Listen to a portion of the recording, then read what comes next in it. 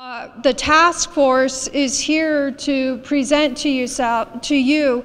Typically, we have teams that we have that facilitate, and they are of tribal members who come and do the facilitation and the presentation and the recording and the documents. So I want all of you to smile because you're also going to be um, live stream on KOLC.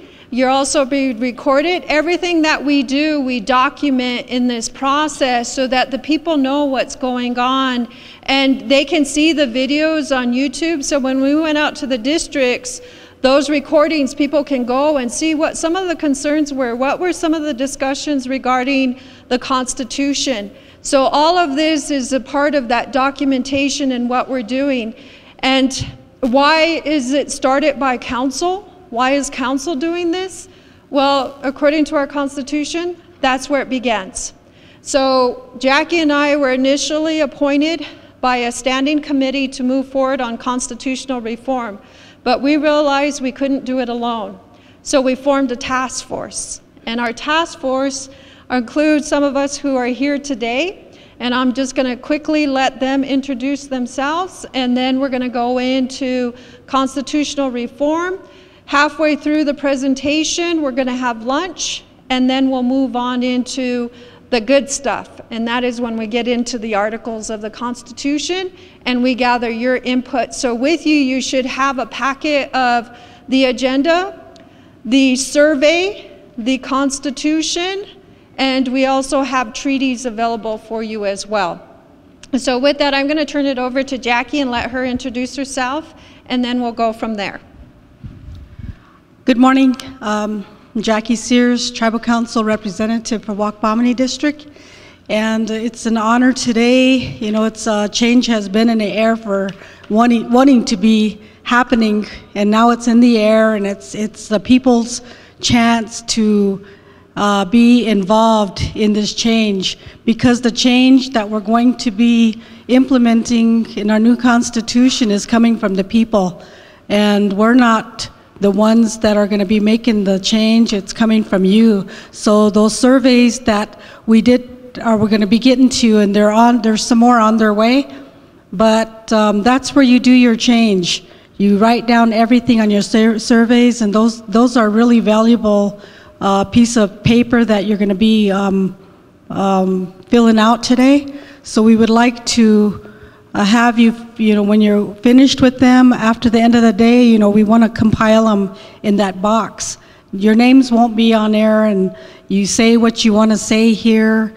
Um, be honest. Be, uh, you know, have your opinions ready, your your questions and your concerns, but be honest. And nobody's going to go and take your job away, and we're not going to write down everything. so just be. Um, comfortable with us, you know? We're all family, we're all relatives, and you got to look at us that way. Don't look at us, uh, us as council today. We're here as a task force, as a community member also who is striving for change. And um, there's two more um, task force members, uh, Robin Tapio and Lisa Jumpanigo De Leon, who couldn't be here today, but um, we will be handling that today for them too. Thank you. Good morning for those that are, are here. Uh, my name is Stephanie Star Leisure and I'm from Oglala District. Um, I'm really glad to see that they've included the employees um, because you are people, you're human, just like we are. Um, with this initiative that these two have started, it's a good initiative, but we need your input. You are part of the community, and only you can voice your concern and make a difference. So it doesn't matter whether or not we're council, we, this is your tribe. And come forward and, and help us make it better for your future, your children's future. So with that, thank you. Thank you. And we also have two of our team members who are here. We have Mrs. Connie Tenfingers, who is one of our admin recorders for Team 3. We have five teams.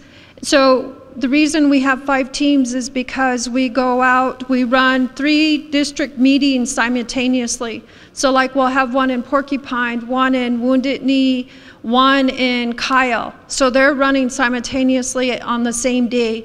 And we've typically been going out on Saturdays to all of the districts. We've also invited, we scheduled meetings for those who have knowledge of the treaties. We invited them to the meeting. And we also went out and visited our youth. So we had um, youth forums at our high schools to talk about constitutional reform and what does that mean to them. And these young people have so many great ideas and they were really polite in their request of what they would like to see for the future. So we compiled all of that information as well.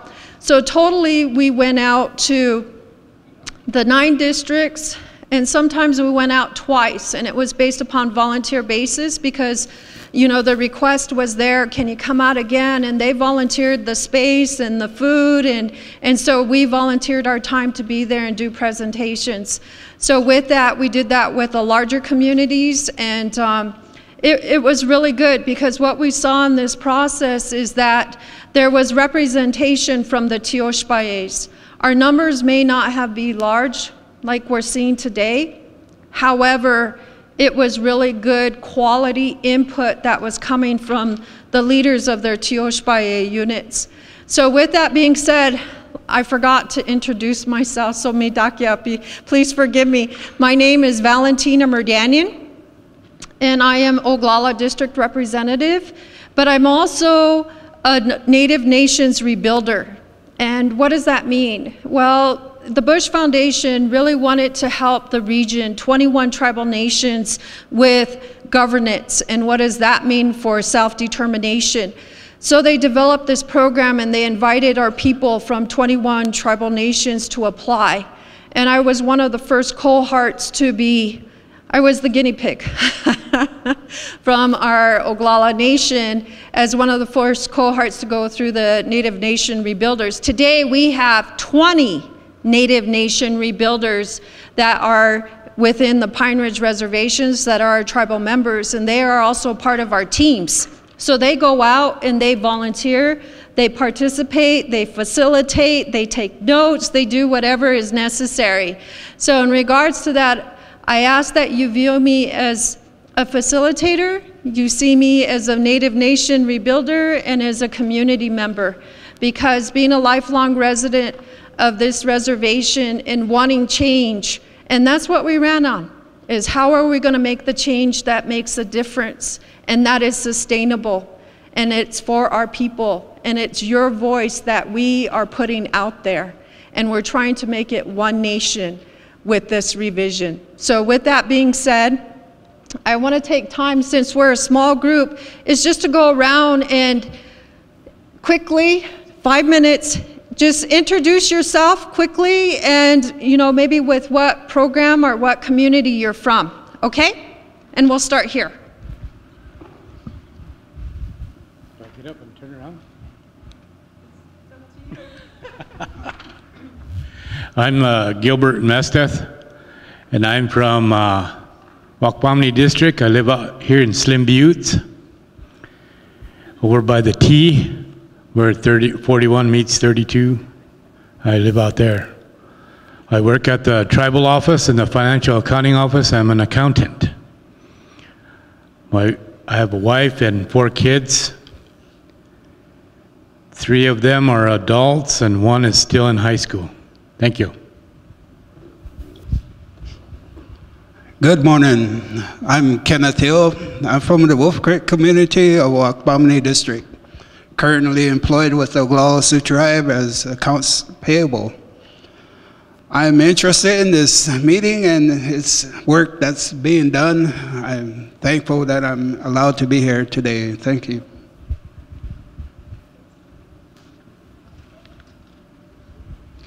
Good morning. I'm Alice Perkins. I'm the director for the employee assistance and a member of the Wakpamni district. Um, that's it. Good morning. I'm Caroline Balian. I'm um, grandmother, great grandmother, and an avid supporter of children. I'm acting director for Child Protection Services and uh, associate director out of the uh, executive director's office.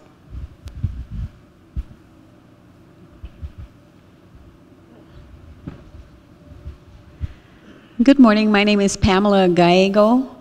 Um, I work for the Oglala Sioux Tribe Higher Education Grant Program, and I am also a grandmother, mother. Um, I'm really glad that we were given the opportunity to be here and to uh, be able to go th- through the constitutional reform information. It's something that has uh, is needed, and for years to uh, past, how much our constitution. Um, needed improvement and needed to be addressing uh, what goes on with our tribe. So I'm hoping, you know, to get some good information, and I know that um, in the end, our our input, you know, will have the impact, and uh, I'm grateful for that. And I thank you, ladies, for taking this on. Um, with the things that are going on now on our homeland here, something has to happen. There has to be some change, and it, starting with the internal structure it is a good. It's a good start there. Pilamayaye.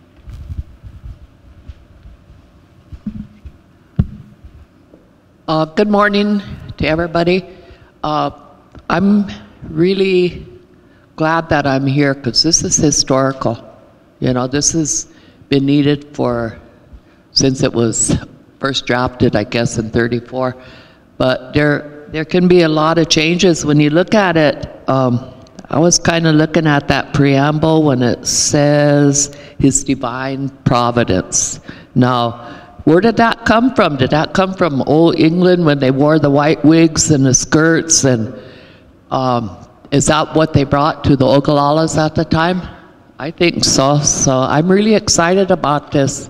And I uh, had some good teachers. One of my teachers was uh, Oliver Red Cloud, uh, the treaty people, also my dad, who's 92 years old, so was born before this 34 Act, and he's real familiar with everything and talks to me constantly. But I always look that you have to have people's involvement to create change. And so I commend all of you for doing this. So it's about time. Thank you.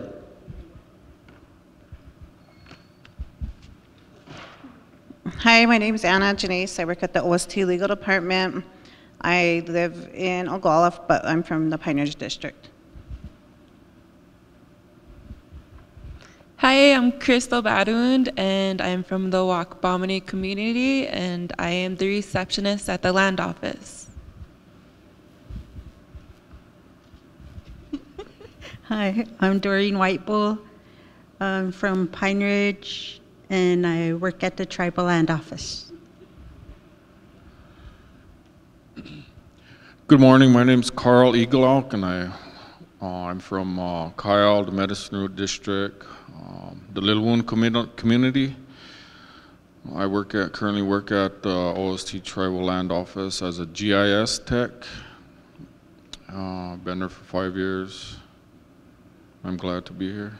Thank you. Good morning. My name is Karen Red Star, and I am the director for the Oglala Sioux Tribe Health Education Program and Fitness Center. I live in Medicine Root or Pajutahaka at Three Mile Creek. I was born and raised there. And as Berta mentioned, this is really a historical, a history, a movement. And guess what? It took WIAs to do this on our tribal council. So I really appreciate what you've done, what you're doing, and where we are going. Lila, Wopila Chichapi. Thank you.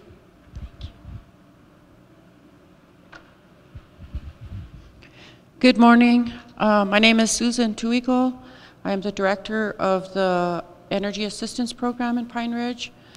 And I'm here today to share or to learn of this, of the reform that's been going on. I've been listening to you guys on a radio. It's really interesting, educational, and at times it's kind of funny because you guys like to laugh and everything. so I've been, um, I think it's an honor to be a part of this, and I'm looking forward to the changes. Thank you.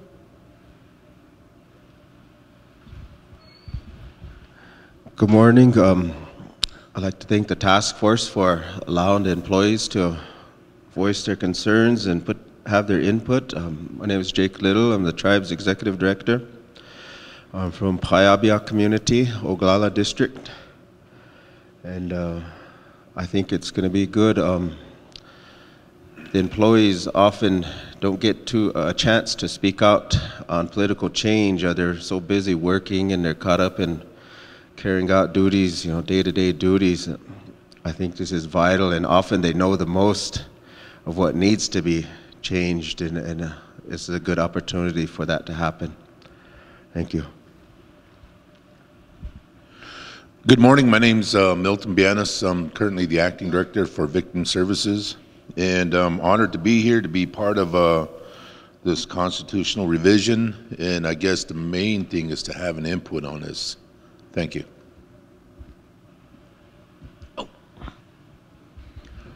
Good morning, my relatives.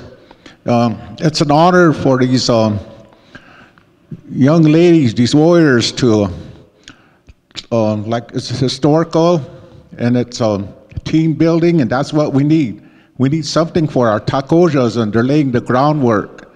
And in every meeting and in every kind of function that uh, our uh, grandfathers had, our society, we started with a prayer. So I like to say prayer for everyone. And then we're meeting with, well, like I always say, one mind, one blood, one heart. So, tuke o cheke wa kangte. Ho tunkashla, akele a pete ke ake wopila. A pete waste unhapte, le umliche ke, umliche aki la wakakte, la wastekte. Ake, chante wajina, nafsula waju, umliche un hapte. Na takojaski, o teheke, na tak waste, uh, in the future, we're building a, something historical for our takojas, our unborn. And um, in our way of life, the circle of life, we always start with a prayer, and our spirituality kept us together. And um, we went, my ancestors went to meetings, they wiped down, purified themselves. It took days, months to come to a decision but that was how we uh, functioned. And uh, we didn't have boundaries. Who tunkash and kia, but like to say a prayer for uh, Takoja Ori Brown, makam ai yinkte le on pete ke le insha ti ta ke ki imai chea. Cha tunkash la po ne la yakap ki. Isha, oke apo na unsla po hao heche tulum, mitauke e yasi. Good morning, my name is Tonya Ekafi. I work for the Department of Transportation. I'm the GIS analyst and I'm from Wounded District. Good morning, I'm Denise Evans. I work for OST DOT and I'm from Wakpamni District.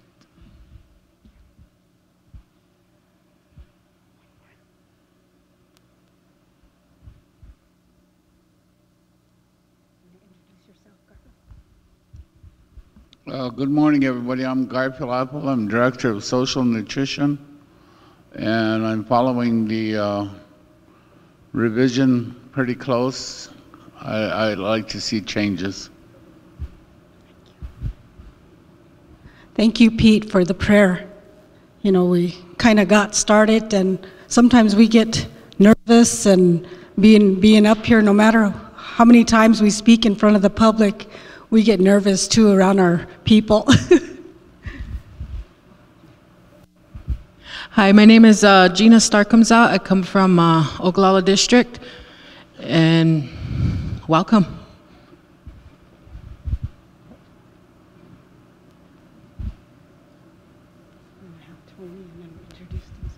Connie? Tony. Okay. So at this time, we also want to, um, I want to say Wopila for the prayer and starting us out in a good way. And with that, I would like to have our, our people from OLC introduce themselves because they've been joining us in every meeting.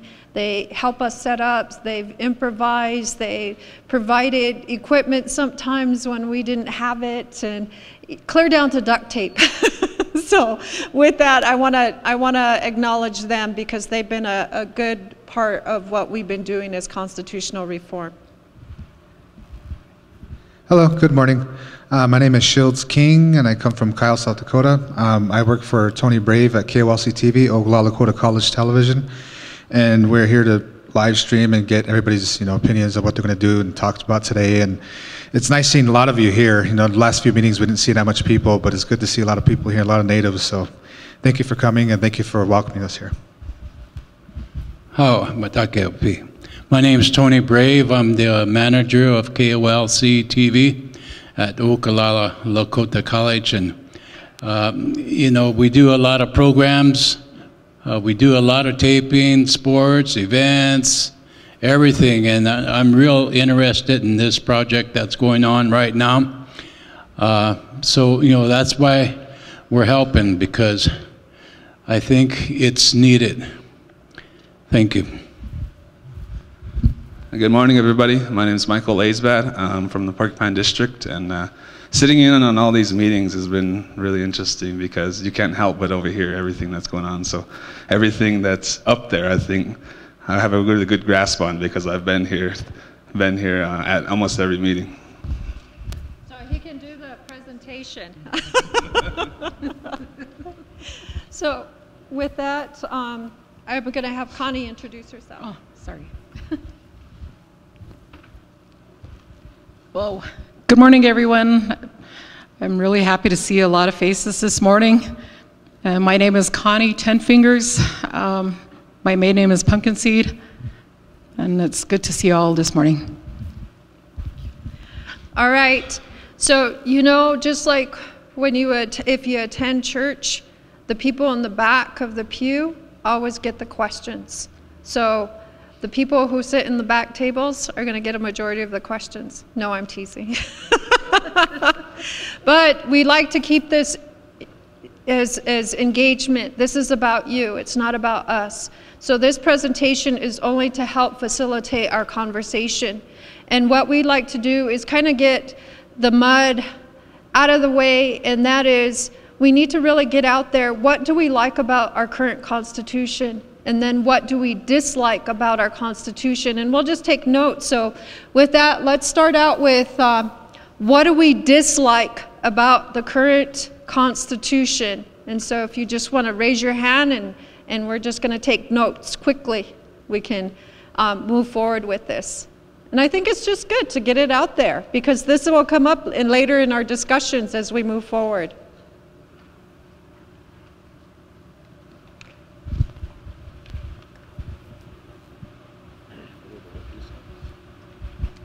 Thank you.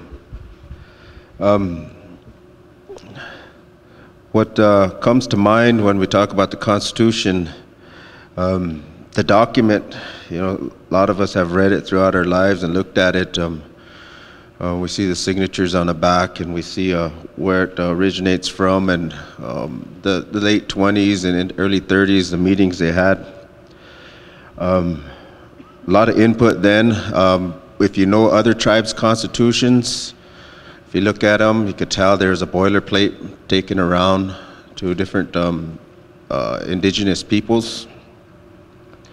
What um, stands out as a dislike immediately, uh, going way back, I'm sure a lot of people see this, is that we're asking permission from an outside source on what is acceptable on our basic uh, foundations live by an or organic document, they call it. You put your values, you know, what's in your heart, what, what, what's your beliefs, you put them in these documents, and we all agree to live by them. And we establish laws and policies on top of those or within them, and we, we find some cooperative means to, to function and um, live a good, healthy life. But when we have to ask someone else if those things we put on a paper were, are good, are okay, are acceptable, it almost cancels out the entire meaning uh, of reasons behind having an organic document. It no longer becomes organic, it becomes um, imposed. And when it becomes imposed, then we have a lack of um, commitment by, by individuals, uh, people. They don't want to live by it because it's someone telling them how to live, not them saying, I'm going to live like this with, my, with the, my relatives.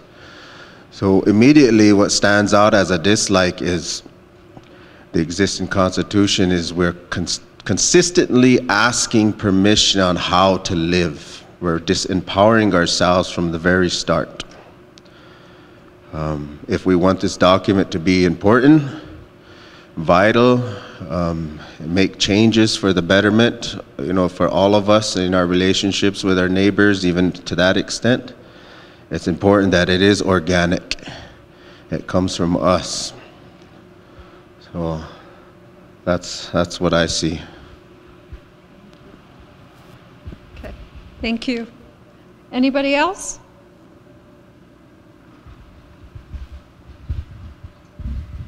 I'm glad we have all day to discuss. um, I, in looking at the ah, our current constitution now, you know, in throughout my uh, my life, I guess, my career, I've had and held positions that um, I had to go back and look at that constitution um, I've had a long career in the federal government, um, and therefore I felt that it was incumbent upon me to know what our Constitution was and was for forever in a position where I would need to interpret and try to apply that to the things that were going on. Uh, I worked for the federal government but my positions were to interact with the tribal operations.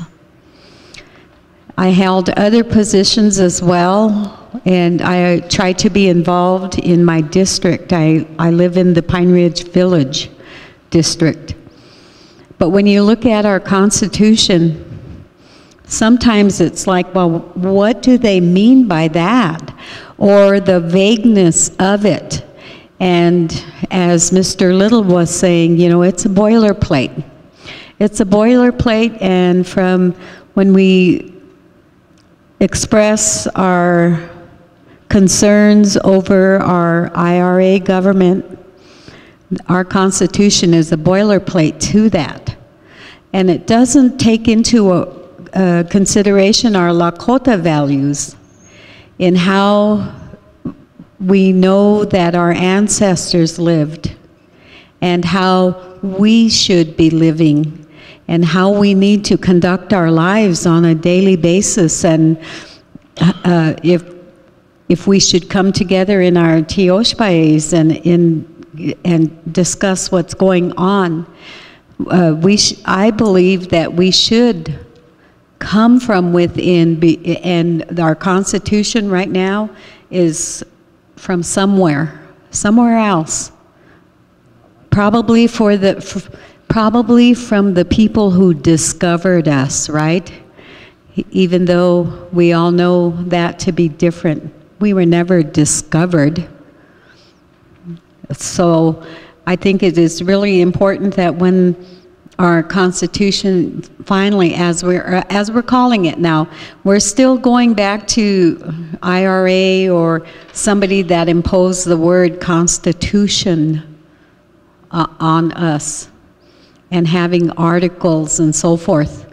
You know, in as much as we're able to go to the, uh, the way that our ancestors lived and in governing or taking care of ourselves so that we bring back the moralities, the spirituality.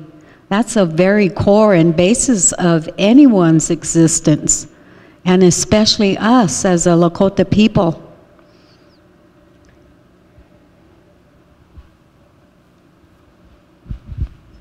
Thank you. Anybody else?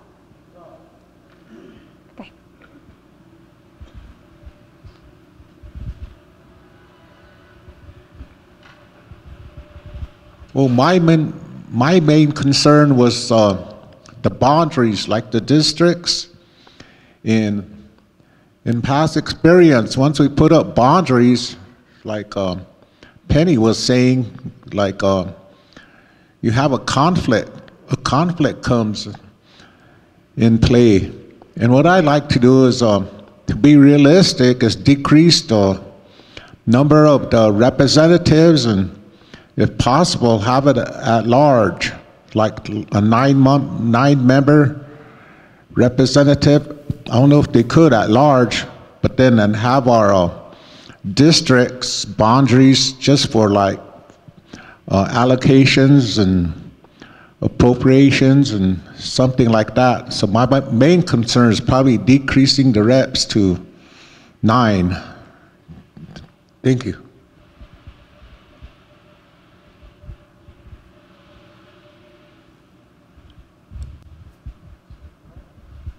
And along the sa- that same line, that the qualifications of the tribal council members be upgraded so that they could have a degree or college, whatever it takes, because I believe it is really necessary. And when council meetings are, are being aired, uh, uh, over Kili Radio and all that, we see and hear a lot of things. So I think that the, the qualifications need to be upgraded so that they can have degrees or they should have degree. degree. Yeah. Okay, thank you. All right. So now we kind of, okay,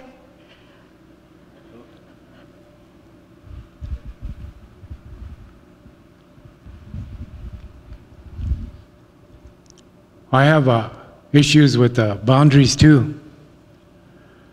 Um, I used to live. I used to live along the creek, along the Wolf Creek, and right in Pine Ridge. That was back when uh, Pine Ridge was actually in Wakpamni District, and uh, so we used to be part of Wakpamni District. Then we moved to Cheyenne Creek, which is north of Pine Ridge, still in Wakpamni District, just in a different community. We're part of the uh, Calico community. And then I grew up and I live now, oh, I lived over at uh, Gordon Junction, which is also in Wakpamni District. But Gordon Junction, according to the original boundaries, was either in Porcupine or Kyle. So we're right on the border there somewhere. And then we moved to uh, to uh, Slim Buttes. I lived there now for uh, 21 years. When we moved over there, they built us a new building, a community building.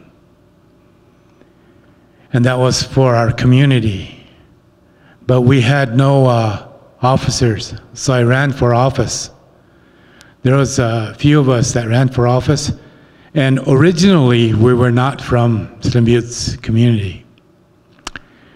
But we tried to make that community building better and accessible to everybody.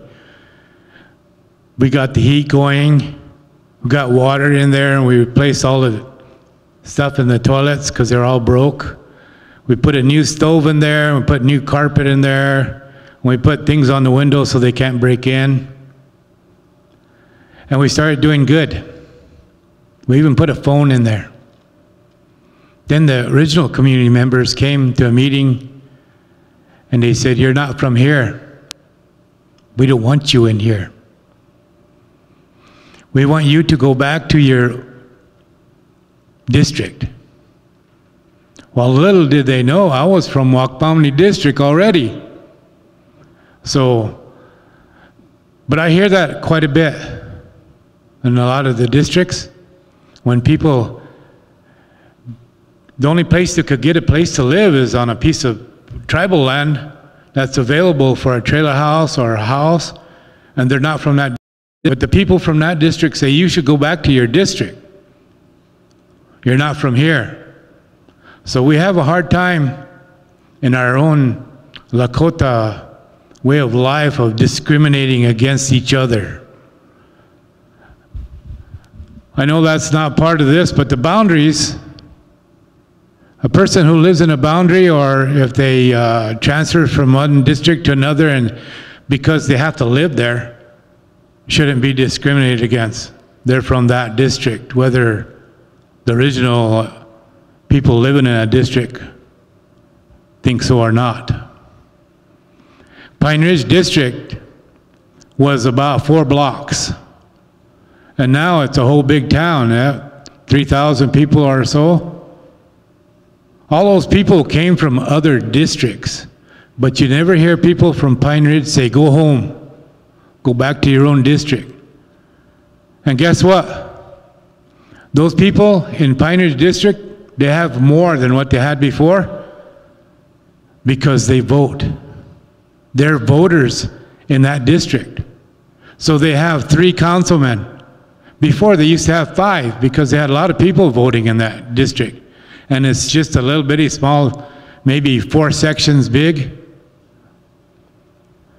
And Wakpamni district has got hundreds of sections of land, but we don't have enough people to have as many representatives as Pine Ridge. People don't realize that, but if you welcome people to come and live in your district, you're going to have more people and more representatives. So I didn't, so I think the boundaries should be set and not changed. Because Pine Ridge was set and then eventually it was changed, got bigger and bigger and bigger. People who used to vote in Wakpamni District now have to vote in Pine Ridge. And I don't think things should be that way. My other one is that, um, um, gee, I forgot.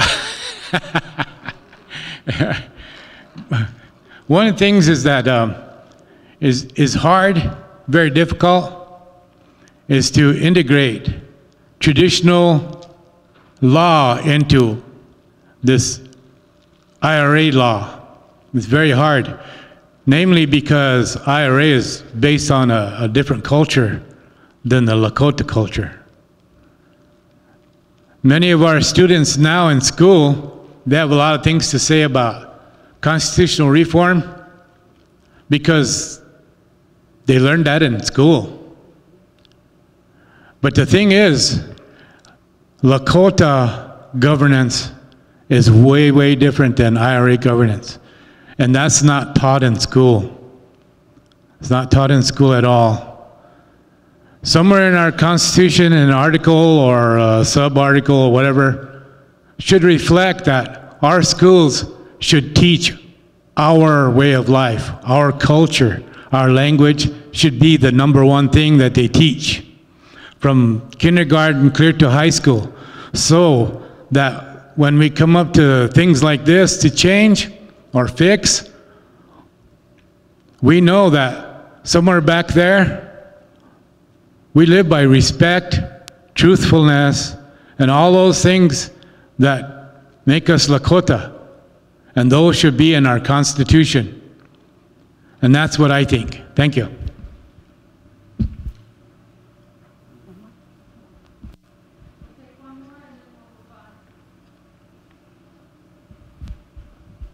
I was reading this declaration from the United Nations for Indigenous people. One of the things that I was involved when the Grey Eagles first formed, I was kind of a, a what you call a bee. We, me and my nieces, and we did all the cooking for them.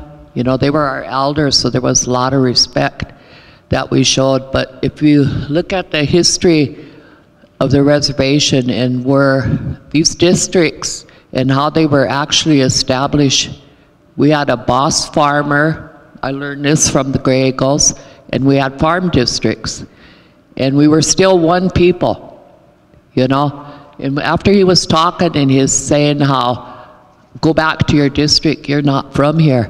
You know, we really lost something along the generations where we're one people, and we got to keep that in mind. We're one. And so when you have political factions within these districts, and there's families that are running the district cap offices, then there's not uh, equal distribution of what our people should be getting. It's certain families, and we all know that. You know, we've seen that from the past. And these changes have been coming for a long time. I remember, like I said, the Grey Eagles, I sat in a lot of treaty meetings, they talked about this. How do we go back to that frame of mind where there's unity when it's there's no unity even at the tribal council level, you know? And then it trickles down and it's in all of our districts. So that's one of the issues, and I thought maybe this is not going to change for generations to come. Like Gilbert said, should be taught in the schools, and is it the younger generations that are going to make that that positive change? And what Jake said, even if we were to do overall of this whole overhaul it, the BIA and the government are going to have the last say so. So how do you get around that? You know, that's another question. So you're going to put all this effort and energy, and then you're going to be stonewalled, you know, when it comes to passing it. So that was some of my ideas. I've been thinking about it, and but it has to start someplace, and might take a while. So thank you. I think, um, did you want to continue or, because we're.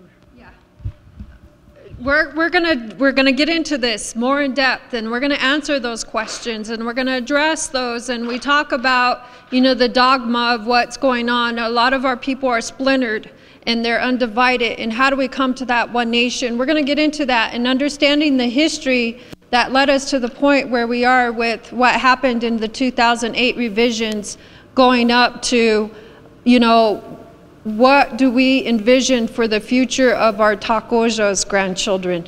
You know, that's what we need to, how far we need to be looking ahead when we're looking at these revisions. So with that, we're going to go into the timeline. And it's important to understand this because these are the bases of these changes that happened to our people and why they came about. What created that division amongst us as being splintered in our communities. So in regards to that, there's somebody mentioned saying that we were discovered, and it goes back to how we were set up with the Oceti Sakowin and what was our relationships with other tribal nations within our area. And moving down, once the immigrants came to this country, they set up their form of government. And the oldest branch of that government is known as Indian Affairs, what we know as BIA today. That's one of the oldest forms of government because they knew that they had to deal with us given our treaties that we made early on. And there was many treaties that we made with the king and the queen. So with that being said, once the U.S. established their government, and how are they going to deal with native nations? And how was that going to be done in the legal sense? And this is where Marshall's trilogy comes into effect. He's three, these three rulings was the foundation for Indian federal law. Okay? So this is where it comes from. This is how it was established. And this is what has guided the Bureau of Indian Affairs in this process. So, okay. We're going to try to move through this as quick as possible because we need to get to the good stuff. My question is, when did, when did we move from Department of Defense to the Department of Interior? Okay. So that's a good question. We moved from the Department of Defense to the Department of Interior because early on, back in the 1700s, there was only two Indian agents, what they called, one for the East and one for the West. Okay? And if you read Benjamin Franklin's earlier writings, he talks about the establishment of Indian affairs. Okay? And what did this mean? And the fact that the federal government based their constitution on the what they call the civilized tribes. This is where it came from, that foundation. But he also talks about how the US government made a mistake. Because if you look at how their system is set up with government, they're led by women. It's matriarchal. Whereas with the US system, it's set up to be patriarchal. Okay? And so, with that being said, he talks about the formation of these Indian agents and what was their sole purpose. And so, with that transition, as they recognize more and more of those treaties, those, those contracts, if you will, of how we are going to coexist together, okay? And once they discovered the resources, that's when the transition came in. So, first we were under Indian Affairs. Then we went to the War Department. Then we went to back to Indian Affairs. And this all happened within the transition of from the 1700, 1778, moving on to 18, it was the early 1800s is when we moved back under the Indian Affairs. So I did a whole piece, actually I wrote a whole paper on this in this transitionary period because the impact that the Bureau of Indian Affairs has on our people today. When we talk about who is governing us, who makes the final decision, but we allowed that. So that's why this timeline is important, okay?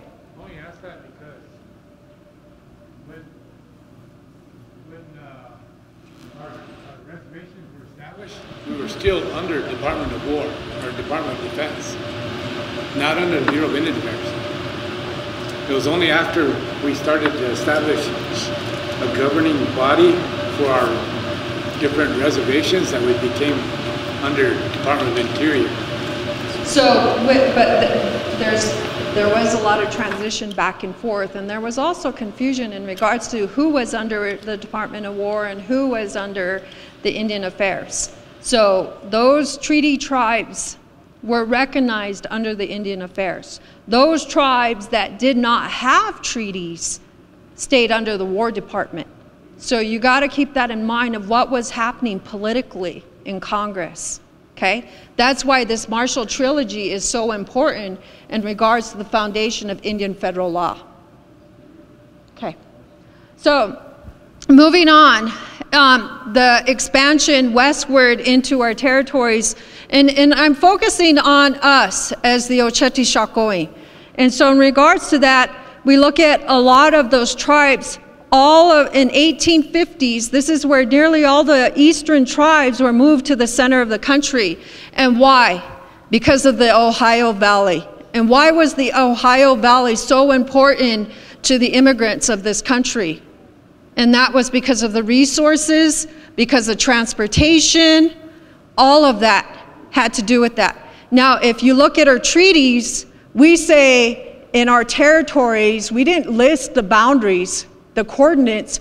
We said from this mountaintop to this mountaintop. Now, why do you think our people did that?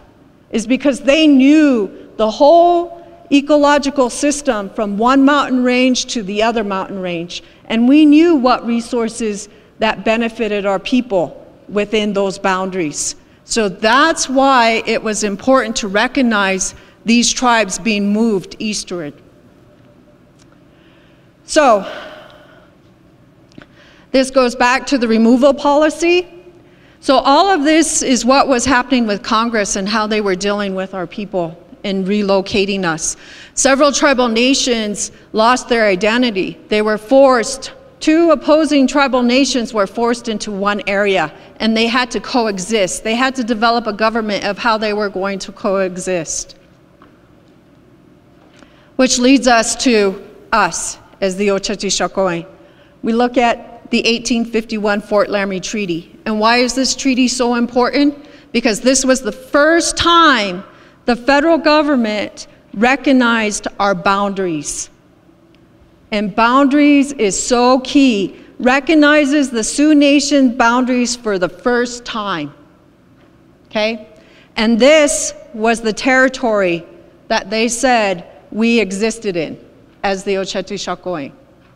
So, in regards to that, this is what was set within that. It didn't give us any rights, but it defined our boundaries. So, that's important to understand in regards to these treaties. Moving on, what happened? Short time later, the 1868 Fort Laramie Treaty. And this led to establishing our rights. Okay? But look at the loss of territory we took from 51 to 68 because now we wanted rights within our boundaries. And so we compromised. In regards to those boundaries, this then was defined as our boundaries as the Oceti Sakowin. Moving forward from 1876 to 1877, based upon that 68 treaty, they've discovered again what? Our resources and what was available in those areas and the land. And so, with the Commerce Clause, and these, the 68 treaty was basically to make peace and give them right of passage. In that right of passage, this is when they discovered all of the resources available that was within our lands. So, with that, government tried to force us into territories in which our people didn't understand because it was a violation of our 68 rights. 1868 Fort Laramie Treaty rights and not understanding why the US government was breaking their agreement with us. They fought, our people fought, which led to the Battle of Greasy Grass, the Battle of Little Bighorn, in which that at that time the US government seized the Black Hills and that was because of the gold and the expeditions that they were doing. And we had a lot of squatters going in at that time, but there we had no laws in place. We had rights, but no laws in place to protect our people, aside from our natural laws. And we have four sets of laws, but they didn't understand those four, four sets of laws. Why? Because it wasn't documented according to their history. So it moves us forward. What happened from 1871 to 1928? More lands were taken, and this was huge. This is when they were opening it up to the settlers.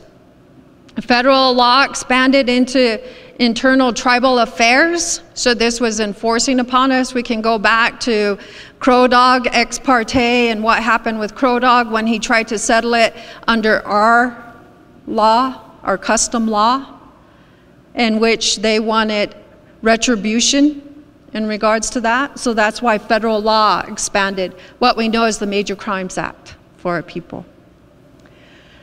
Indian children were forced to attend government or church run boarding schools, and corporal punishment was across the board for all of these school systems that were in place for our people.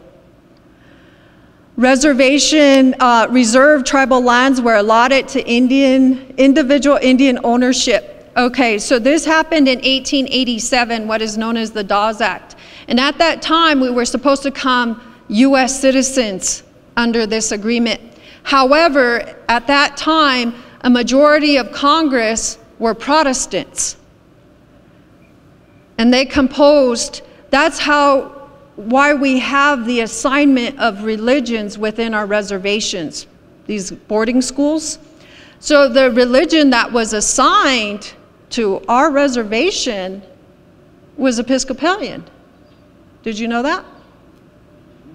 And we had to get passes to leave our boundaries as a people because we weren't considered US citizens. Okay? So, in regards to that, we look at this and we say, okay, now we're given land. And once we were given land, Congress said, okay, if these are gonna, if they're gonna own land, then they're gonna pay taxes. And the only way they can pay taxes is if they're what? US citizens under our law. So they tried to make us citizens. But Congress said, wait now, wait now. We're still considered uh, wards of the government. We're still considered not human, okay? Uh, we're also considered as heathens because not a lot of our people converted into Christianity. So moving on, it was voted down. We weren't considered US citizens, therefore, we did not have to pay those taxes. When our people fought in World War I, this is when Congress recognized and decided to make us citizens of the United States. So this is where it comes from in 1924. And as we move forward in 1889, when we look at those boundaries, what was up here from the 68 to 1877 in 1889, this is what we lost 21, and it was more than that, over 21 million acres in this process of allotment. And then we were divided up into these six smaller reservations. So when you talk about that one nation and being splintered as the Oceti Sakowin, this began that process of dividing our people into these areas. Moving on, from 1899, in, in 1880, the Supreme Court ruled the seizure of the Black Hills is one of the grave injustices in this country that happened to our people. But you have to understand what they were ruling on was not to give back the Black Hills. What they were ruling on was how much they gave us for the Black Hills. So people got to keep that in mind. What were those attorneys fighting for then? And early on, our leaders fought and they tried to form a coalition from the Oceti Sakowin to get the Black Hills back. They approached the BIA to get attorneys, and the BIA shot them down several times. But there's an act that comes into place which allowed us in the 1980s to go after the federal government. And this is important. So we'll get into that. So this is where we are what is known as the Pine Ridge Indian Reservation. And we're only a sub-band of the Tituwa.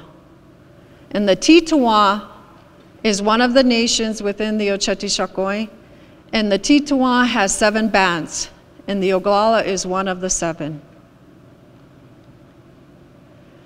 So, they ended an allotment to restore Indian lands the U.S. government created programs, projects, health facilities, irrigation work, roads, homes, schools to help restore Indian economic and cultural life, is what it says. And that was to be reinforced by the 1934 Indian Reorganization Act. But prior to that, there was a study that was commissioned by the president. And this study pointed out to the government that what the Bureau of Indian Affairs was doing to our people. This study showed that the Bureau of Indian Affairs said that they were the experts in education, in Indian education.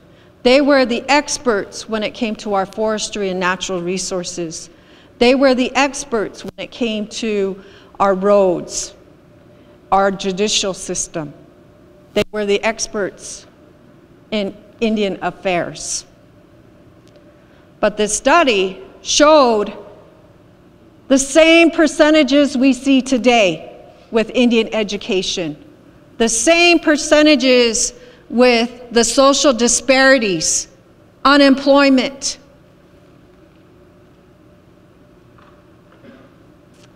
So then government said, okay, we're going to empower these native nations. And how are we going to empower them? By giving them a government. Once they give us a government, then we'll be recognized. So this is where it all comes from, from the self-government of tribes.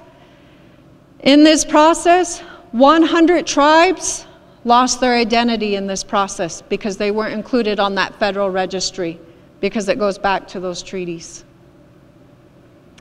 And the BIAs, they started the relocation program, whereas 40% of our Native people still reside in the cities. But we're starting to see them come home, and they're retiring. So it's good because this is always going to be home for our Native people. So the abuse of termination and relocation, we can go um, with that. These are the results that Congress passed from 1965 to present, and those are what we're seeing today. This is what we operate on. So look at the Pine Ridge Reservation today. And if you notice, you see a lot of checkerboard in there, don't you? In the sections. The checkerboard is going from allotted to trust land. And if you look in this area in Lake Creek, see how bad that erosion is? Now, currently we had the land buyback. What do you think that map's going to look like now? And we've been asking for that map, so hopefully soon we'll get that map to be able to show to the people what that looks like today under the land buyback program. So moving us on to the IRA. We didn't hear a lot of positive things about the IRA government. But this is what it did. Where did it put us? It put us above state government. But we do not exercise that authority as a tribal nation with our Constitution. It puts us in line with the federal government. Okay? So, this is what it did in regards to the IRA it put in tribal governments, tribal laws, and then chartered tribal businesses, education, Indian preference is huge. Appeals, uh, repeals allotment system. They put money in new trust lands, and then they um, allowed us to establish our tribal court system. So this is where it came from. The IRA government, what is known as the Howard Willard Act, has 17 articles. And in these 17 articles, how many of you knew that? That there were 17 articles under the IRA Act? How many of you know that the blood quantum of one fourth for membership came from the IRA? Didn't come from our treaties. Never did state anything about blood quantum in our treaties. But it came from the IRA to define our membership. That's where it stems from. So, the purpose of, of this was to end the, uh, the Allotment Act and to preserve our boundaries. It was to um, basically allow us to develop our resources and our land, to allow us to form businesses, other organizations, allows us to establish our own credit system. It granted us certain rights of home rule.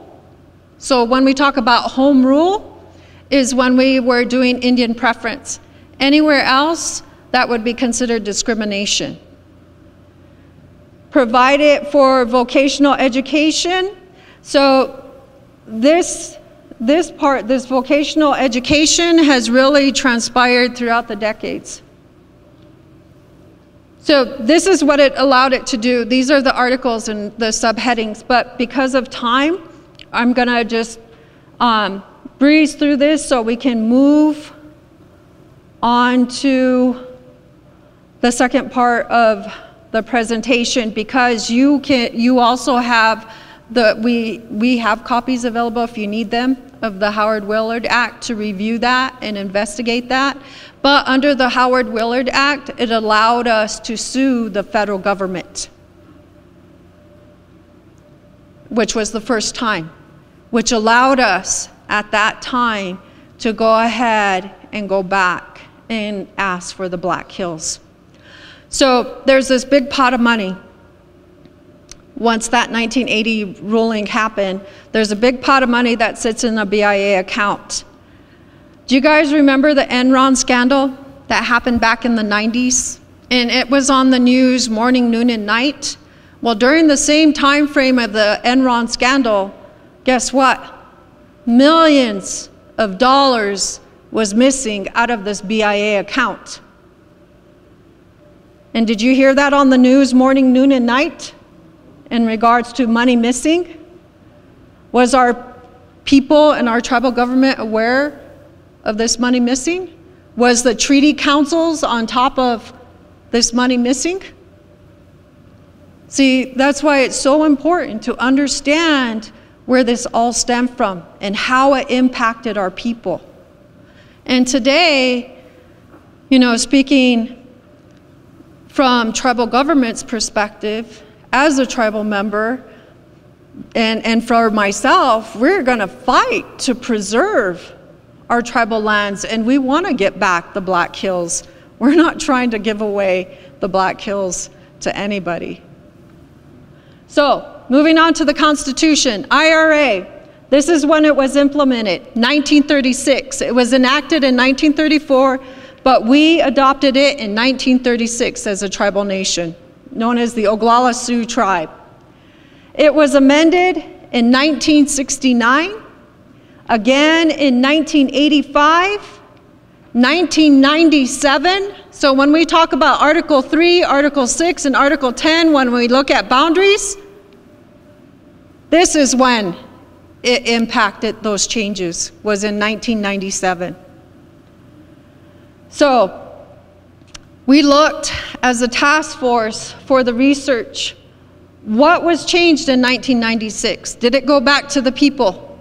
Did the people have input in regards to the revisions? What articles were revised? We couldn't find that information. We went to 1985 and we looked for those revisions. Did it go to the people? No. 1997, where's those revisions? Couldn't find them on file. 2008 is what we did find on file. So we'll talk a little bit about those revisions. So the last constitutional revision happened for our tribal nation was in 2008. And in 2008, they only revised eight of the 17 articles, right? It was eight. So, in regards to that, did it go to the people? No. So, this is the first time ever that this revision is coming from the people. These were the articles that were revised in 2008. And so, if you look at Article 2, nothing was changed in the territory under Article 1 in those revisions. Neither uh, in membership, they added Section 2 under membership in 2008. Article 3, there was no changes in the governing body. That has 10 sections. Article 4, that was powers of the council. There's three sections in there, and in 2008, what they did is they revised Article 1, subsection 1S, and 1I, 1N, and they added 1W under that article. In Article 5, which is judicial powers, they revised that and they added sections 4 through 7 in that. So you can see here then in Article, Article, uh, what is that, 11? 12. 12 is when they finally added the Bill of Rights. That was finally added in the Constitution was our People's Bill of Rights in 2008. And that has 10 sections with that, um, and that's why it got revised under, it was uh, under membership that they were to develop the Bill of Rights. So with that, you see all the revisions that happened under those articles, and we wanted you to be able to see that, what got included and what got revised in those sections in 2008. So with that, this is the fun part. This is when you get your surveys out, you get the constitutions out, and we're going to talk about first, instead of going into our Article 1, let's look at that preamble, because that was brought up earlier in the discussions about dislikes. The preamble states, we the Oglala Sioux tribe of the Pine Ridge Indian Reservation in order to establish a more, por- more perfect organization, promote the general welfare, conserve and develop our lands and resources, secure to ourselves and our prosperity the power to exercise certain rights of home rule not inconsistent with federal law and our treaties, and in recognition of God Almighty and His divine providence, do ordain and establish this Constitution for the Oglala Sioux tribe. So, what do we need to change within the preamble? In our previous discussions with other districts. This is some of the language that they added in our preamble as we documented it. And it's just to share with you as an example. We, the people of the Oglala Nation, in order to preserve our sovereignty,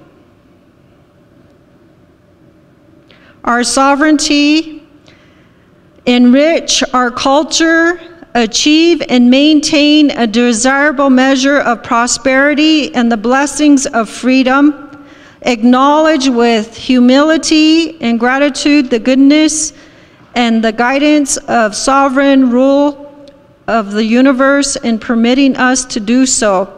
Do ordain and establish the Constitution for the government of the Oglala Sioux tribe. That was just an example that came from one of our district meetings as to how we could change our preamble because they talked about sovereignty and it was important for them to mention sovereignty but also going back to our values. So that's just an example. So, what are your thoughts? What should we include in our preamble? What should we take out from our preamble?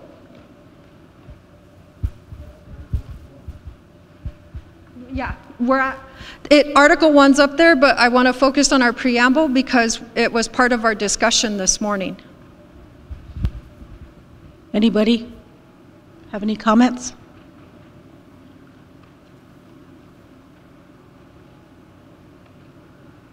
Do we want to leave it as is, or do we want to add sovereignty? Do we want to add culture, or? I think um, also too on the survey, if you don't want to speak up, there's you can always write it in on your likes, dislikes, any changes that you would like to see, and uh, uh the preamble is also on the survey.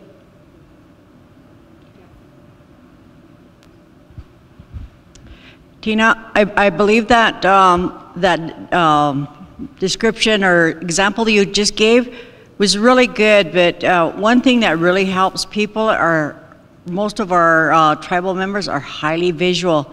So, in order to add to that, that would have been nice if you had posted an example up there because that first part was, was really good. And then our cultural piece needed to be added into that. And then I think we would really have an awesome preamble.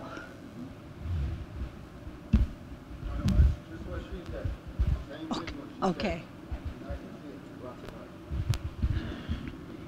The, um, the part of the Oglala Sioux tribe, I'd, I'd I'd like to see that changed to Oglala Lakota tribe in, um, the home rule not inconsistent with federal laws and our treaties and in recognition of the Oglala Lakota tribe do ordain and establish this constitution. Take out God Almighty and his divine providence. Anybody else?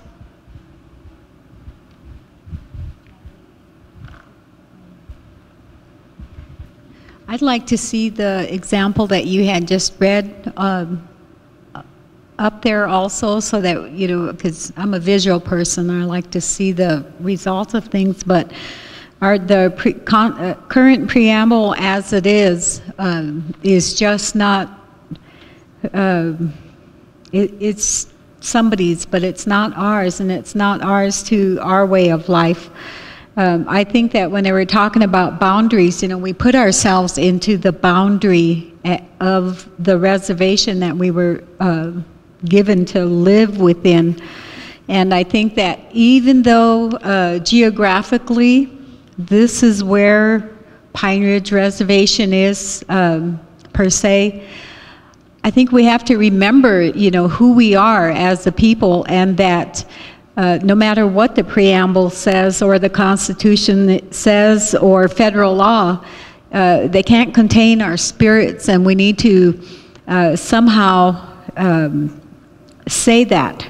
In, if we have to have a constitution, then the opening of that, the preamble should define who we are as the people within our, ourselves, that we are free spirits and they cannot contain us.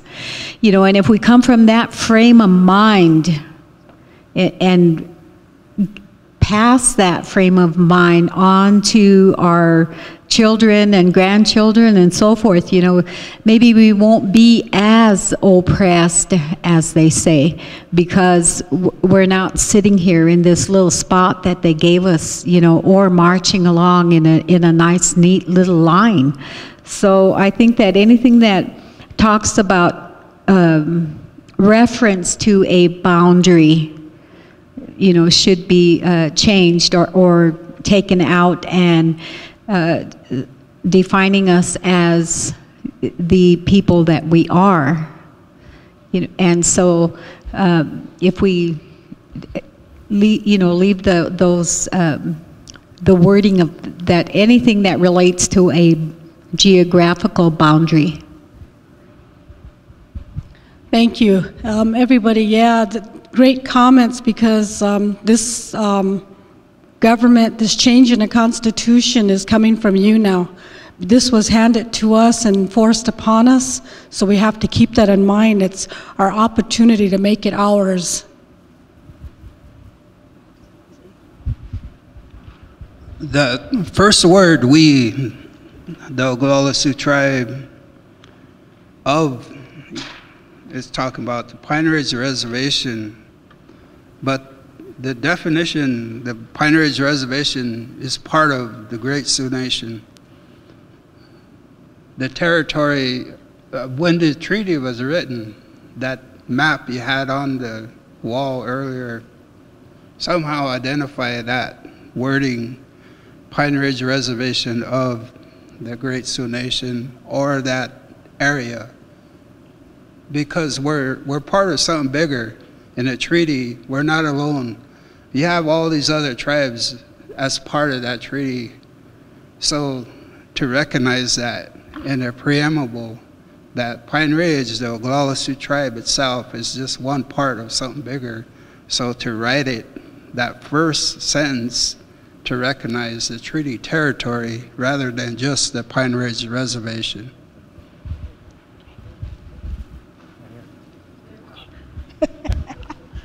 Since you're here now. Wha- You know, when, when we refer to uh, our lands and resources, I hate to, I hate to bring up the Bureau of Indian Affairs, but uh, there's a distinction between our lands and our resources. Because if it's on allotted land, it's governed by the Bureau of Indian Affairs. If it's on land that is referred to as tribal land or tribally controlled land, then the tribe has a say so on what can and can't happen on those pieces of property. But they can't go over there and say, on that piece of allotted land, you can or can't do that. It's the Bureau's responsibility to do that. So in somewhere in our preamble or somewhere in this thing, it should, when you say our lands and resources, it should include those allotted lands.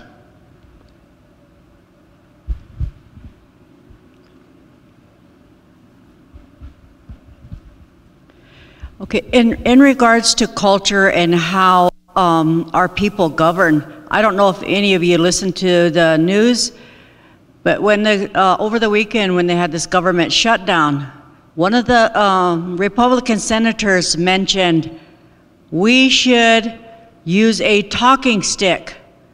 So that tells you something that people really respected the way that our tribal councils used to conduct business.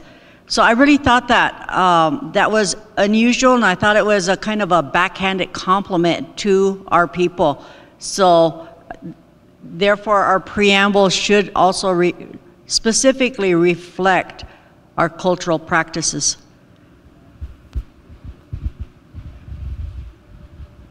We go back again, and your presentation was really, really well. I'd, I would like to have a printout of that, if possible. And, um, different ones mention that. But one of the things is that you go back, and what is foreign to our people is even the Oglala Sioux tribe. You know, we are not Sioux. We're Oglala Lakota Nation, and I would like to see that change because I think it was officially changed at one time, but it's not in our Constitution. And the rest, what you um, suggested or what you read, I think is really good because it addresses that we are a sovereign nation. We have inherent rights and we need to exercise them. So I think that's really um, a start because it's really ironic how all these years we went by that name.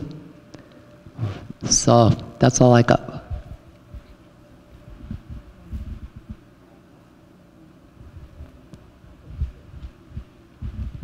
So at our lunch break, what I'm going to do is I'm going to include a slide for the preamble so you can see that. And then what we'll do is we'll um, get those printed out, the PowerPoint presentation for you guys, okay? The other thing is, is um, I just wanted to give you an example of, of what the thinking's out there with our people that are coming from the communities. And when they look at our preamble and how we defined it, and like you guys said, we need to frame it based upon our culture, our values, the way we govern ourselves, and, and that we come from a bigger group. We're, we're, we're only a sub-band of a larger group. So I think that's important to recognize that and, and our rights, our sovereign rights as a, as a nation. So those are all good suggestions, and Ms. Connie is documenting all of that up here on, and we take your comments. And like I said, your comments is being recorded, but we also need you to put that down on your on your surveys so that we have documentation to say, yes, this is what the people told us. It's not coming from us, but it's coming from the people. Okay? So now we're going to go to Article 1. okay. So with that, Article 1, and I'm going to have Jackie read Article 1 for me because I don't have my glasses, and I think I'm getting to the point in my life where I need bifocals, so I'm going to have Jackie read Article 1 for you. It's the same one up there, right? The, the jurisdiction of the Oglala Sioux tribe of Indians shall extend to the ter- territory within the original confines of the Pine Ridge Indian Reservation boundaries, as defined hereafter added thereto under any law of the U.S., except as may be otherwise provided by the law for unrestricted lands, to regulate the inherent inheritance of property, real and personal, other than allotted lands within the territor- territory of the Pine Ridge Indian Reservation. All right, so again, some of the discussion around that um, article was it doesn't have any mention as to our treaties or to our relationship. And you made a good point. What is our relationship? In other constitutions, tribal, tribal nation constitutions, they included their relationship with the federal government. And so that's defined in there in regards to the relationship as a tribal government and how they work with the federal government. Okay? The other thing is, is when they talk about territorial jurisdiction, this was, again, these are notes that were taken and, and I just put them together. Okay, the boundaries of the Oglala Lakota Nation territory shall be those described by the patents of the 1860 or 1851 1868 Fort Laramie Treaty diminished only by what treaty? What act? nope. Right, the Dawes Act. That's when it diminished those. So th th that was some of the thoughts from, coming from our districts is that they wanted to include those to say these were our original territories and they were diminished by this act, but we as a tribal nation still recognize those traditional boundaries, which was stated in 1851.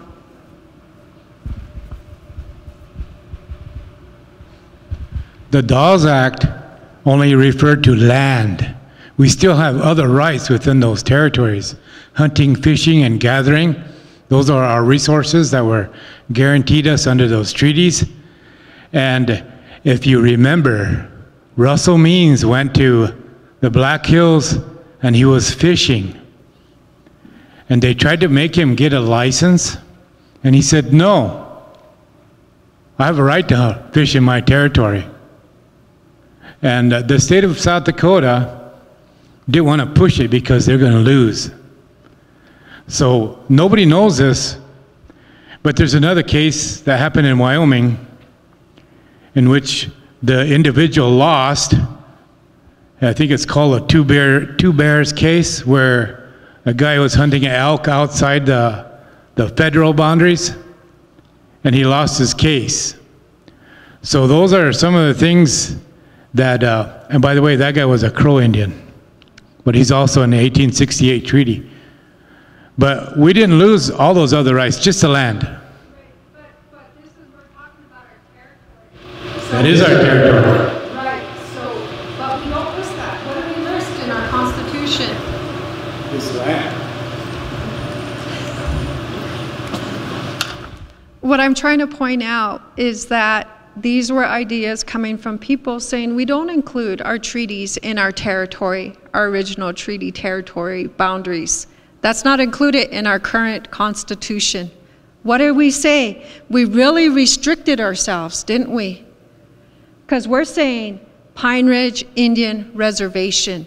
That's how we're defining our territory. We don't say anything about treaties in our territory, do we, in our Constitution? So I'm saying, should we include that in our territory under Article 1? But again, like I said, it needs to come from you as to what we need to include. How do we revise this?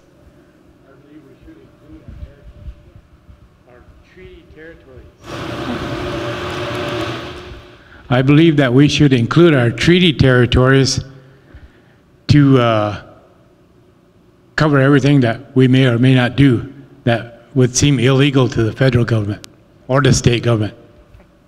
Good.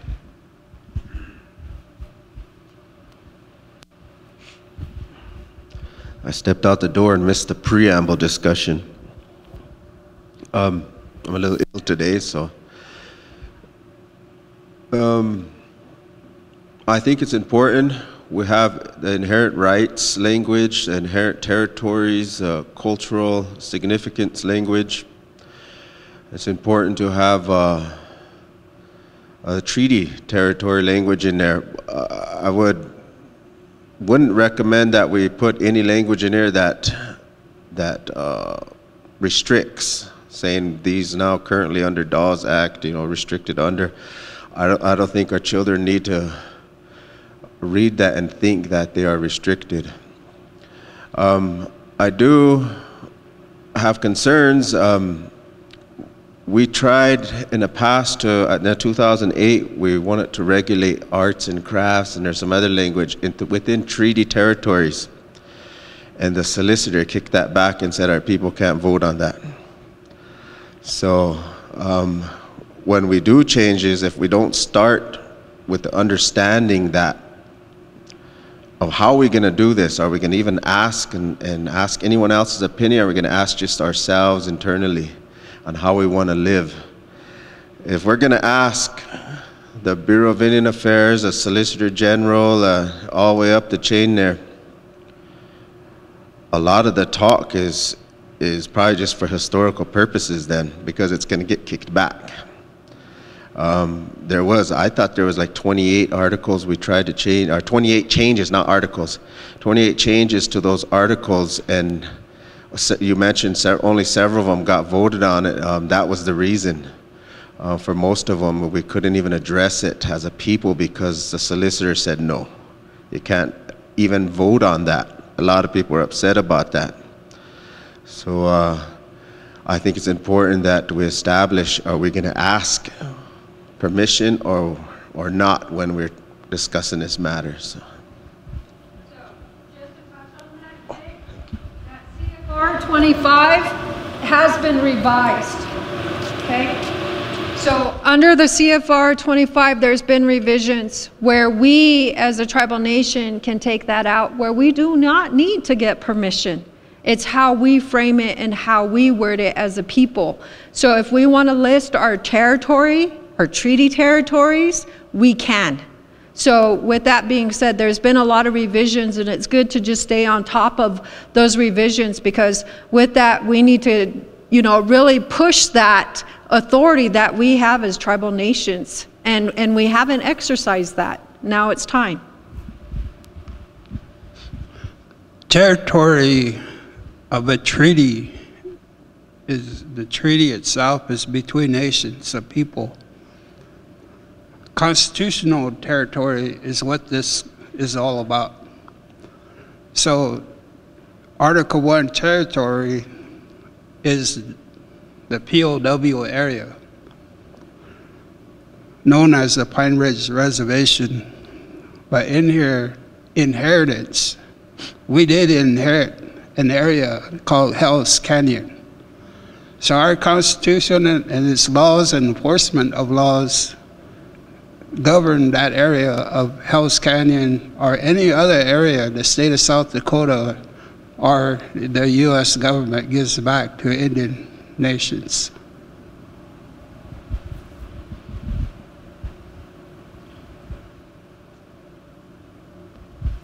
Thank you for that information. So with that, that's good. That's good information that you shared with us and, and to keep that in mind and the differentiation, what you said about the territory, and, and you know, we never gave up that. We never did. And so we got to remember that. And I think, you know, it's a part of our history for our children and the next generations coming forward in regards to those boundaries or territories. Okay, any more discussion on Article 1? So Connie's got a couple of pages up there in regards to the revisions and additions to territory.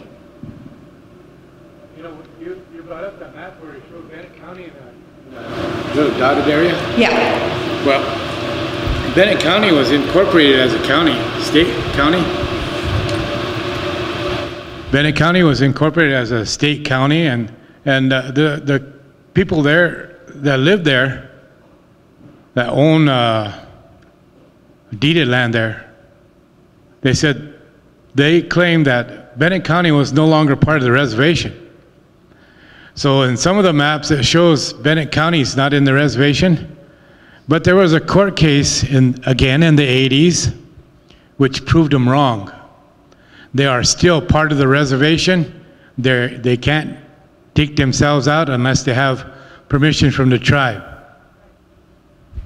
Right, you're correct on that. But again, like I said, it has to go back and we have to identify those original areas. And, and then that's how we make our case, you know, and how we build upon that. But today, we really limited ourselves as to stating that we are only looking at unrestricted lands and that we are looking at allotted lands within the territory of the Pine Ridge Reservation. So in our constitution, this is what we're limiting ourselves to and not basing it upon those rights that were given to us in the 1868 Fort Wayne Treaty. So again, we got to keep those those in mind when we look at territory. Uh, when we talk about the jurisdiction and the territories of the tribe, of the Wilson tribe, the question is how do we defend it? Because, you know, the way I see it going today is, is that it's, there's a gray area coming from the tribe and how we defend our jurisdiction, our sovereignty, and we want to go territory. How do we defend it? Because the current climate of politics in the White House has already shown that they can come in and do whatever they want, regardless. That's a very good comment. So how do we defend that? And how do we defend it is going back to this. And we create legislation as a tribal nation that support these articles that enforce it. And right now, with our ordinances, see, when you change an article in your constitution, you usually have ordinances, which is our laws. And that's what we as legislators are to do, is develop laws that support our articles to protect our people, to protect our natural resources, to protect our lands and our people. So, when an article was changed, it happened in 2008, there's a lot of ordinances underneath them. However, what happened is that there was no correlation between these ordinances and these revisions in the articles. So they, at times, conflict with one another. And so how do you get a law that doesn't support when they conflict with each other? So with that being said, what we've done is we worked with our in-house legal office and we're listing all the articles under, all the ordinances under each article so that people will see how the change in this article is going to impact these laws, these ordinances. Right now, we've opened it up and we really limited ourselves of how we protect those lands. So with that, that's why I said important to understand, you know, when we create laws, we need to be able to have the implementation of that law and then the follow through with that law. And right now, there's no follow through. Yeah, um, yeah, I've seen that being, being in, um, law enforcement for many years now, my years, I've seen that, you know, there were kind of areas that were weak in, you know, protecting our land bases, because I do know for a fact one time, a, a a federal agent, one time, uh, came right out and told me that we have total jurisdiction over you guys. We can come in and do what we want. So, I mean, and this was coming from Rapid City, and I, we stood there and had a conversation over this, because they were here to enforce a document, and, and uh, without notification that, uh, to the tribe that they were here, and that, um, they were inflicting fear, you know, among other people that were there. So we had a lengthy discussion over exactly, and I- that's why I said, who's gonna protect this? Who's gonna defend? Well, I, I worked in law enforcement all my life too, and I was a chief of police as well as criminal investigator for a major number of years. And the federal government, along with the tribes, have concurrent jurisdiction. So I don't know who you were talking to, but as a chief of police, I had to know my territory. And I had to be very aware of what kind of jurisdiction I had. So, um, I'm not going to disagree with you, I'm just saying that we need to be more knowledgeable. And everybody needs to be knowledgeable, this is your reservation. What we do with the federal government, um, has to be put out there, so we don't get blinded by stuff like this. So, thank you. What are the unrestricted lands that's referenced in this Article 1 where it says, um, provided by law for unrestricted lands? What land is that? So the unrestricted lands, when it stopped the Dawes Act, which was the erosion of our land base, the unrestricted lands allows our tribal nations to go after lands outside of the reservation, unrestricted lands. And so that, for example, we got lands, we went in with other tribes to get Pe' Sla. That's unrestricted lands, okay? So when we talk about federal lands, like what we fought with the pipeline up there, when we talk about federal lands and unrestricted lands, where those are still our lands, and we go back to those boundaries, those territories, those regional boundary lines, that's what we're talking about in regards to those unrestricted lands. The allotted lands is when they gave us land assignments for our ancestors when they were in 160 acres. So would that include like the lands in Bennett County that are belong But that, that's, that's an argument we haven't even tested yet because we don't have anything in place to support it under this because we restricted ourselves to it. So when we talk about jurisdiction, that's another issue, you know, and we do have something in place. However, there's a lack of respect in regards to consulting with our tribal nation regarding our laws. Now the state is being made aware, we have a lot of laws in place, and they need to respect it by consulting with us. Okay. All right, that was really good discussion. I have one question. Yes.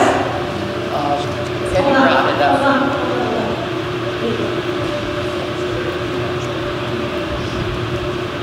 Uh, I guess it's more of a comment than anything is that uh, maybe the language in, as you're writing it or uh, re- rewording it, needs to be a little bit clearer, uh, you know, and if we're talking about uh, our original territorial boundaries as described in the treaty, maybe that needs to be stated that way rather than confines of the primary Indian reservation boundaries. Then also such language as defined hereafter added thereto, you know, what does that, what is that specifically going to uh, mean to the common person, you know? And then also, I have a suggestion uh, as to recognizing or defining our Oglala people as Indians, because we all know where that word came from. And so I, you know, I would uh, recommend or suggest, you know, that, that the word Indian isn't uh, uh, used anywhere within our within our constitution.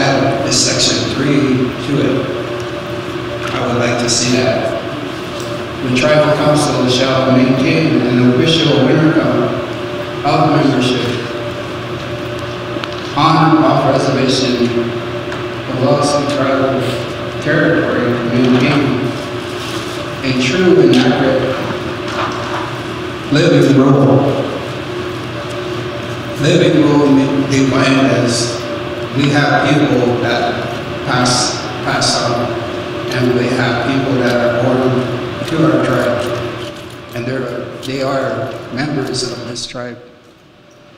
A winter count as an official um, document that we could challenge the U.S. Census count every time it happens 10 years, that census count is always inaccurate. And we're funded by those inaccurate counts. Um, because if we can have our own tribal census winter count, it, it would give us that ability to challenge the government that we have more people than you're funding us for when we depend on those funds in our education, health care, and well-being, welfare of this tribe. You know, that's a, that's a very good comment. And for example, in some of our constitutions within the districts, they require a census, not an enrollment update, but a true census. Now, the federal government does a census every 10 years, and like you said, it's inaccurate numbers. Why? Because our people do not trust the federal government, so we're not going to give them all of that information. We also have what they call a community survey, and what they do is they take a sampling. This is done every month, and did you know it's happening on our reservation every month? So they do a community survey is what they call it, and this is what HUD kind of operates on, is a sampling from our population. And what they do is they go out and they sample certain households to get that percentage. And um, with that being said, they use that small percentage to say this is the whole population demographics. Okay? So with that, it's not a true census, but that's what they base their numbers on, for example, for HUD, when they use those numbers. The Oglala Sioux tribe, um, did get a proposal to do a census across the board. However, with that being said, there was already a project in place which is called One Nation, One Number, and that is a survey of the houses. So it goes back to what they're doing right now with that survey. Oh, Yeah, my question was, um, I talked to some treaty people and they, to their understanding, they were informing me like on that membership, the federal government was, um, with the Republicans in control, they were trying to get us into it like a lineal descendants, so I need more, uh, interpretation on that. All right, thank you. So right now, the Oglala Sioux tribe has what they call a, um, a code, uh, a membership code, and they update that. It's, it's governed by a committee, a representative from each district that goes and, and works on that enrollment code, okay? So the enrollment code was updated, and they're basing it on lineage, what you're talking about, to, to go back to um, show that you have a family member um, that is an enrolled member. We never talk anything about being on the original census, going back to those rolls. We don't look at that. and we don't look at it as a living roll as well. So those are not defined in that, um, that enrollment code. So these are things that we could also include with the revisions within, under membership. In other districts, there's a lot of discussion regarding membership. They felt that the only time tribal council should have a say in regards to the enrollment code is if somebody wants to remove themselves as a tribal member. So that was one of the suggestions to go up there and adding a three that tribal council will review those who want to remove themselves as tribal members. And we do get those requests um, a lot of times where people want to remove themselves from our enrollment and enroll in another tribal nation. I have a funny story on enrollment.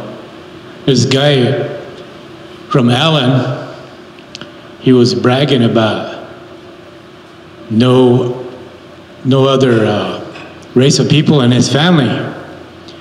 And he was talking to this guy, and his kid comes up, yeah, this little black kid comes up and says, Grandpa hits him on the leg. Says, I want some water. So without looking down, he gets the water and he turns around and gives it to him and he says, Who's your mom? it just blew whatever he was saying out, you know, and that's that's pretty much how we are today. we, we sit there and we talk about not having any other race of people in our lineage, but then all of a sudden, there's a child comes up and ruins everything. So, uh, in my opinion, that little blood degree thing that we have on our enrollment cards shouldn't even be on there. It should just say tribal member. And to this day, I don't know how they could determine if that's how much blood I have or not. And the reason I say that is because when I was born, my birth certificate doesn't have a father on there. My mother's name was Redshirt. And so that was my name. But when I went to school, they changed it to Mesteth. And there's no legal documentation saying that I'm a Mesteth. And as I was growing up, my father treated me like a stepchild, and I loved him dearly anyway.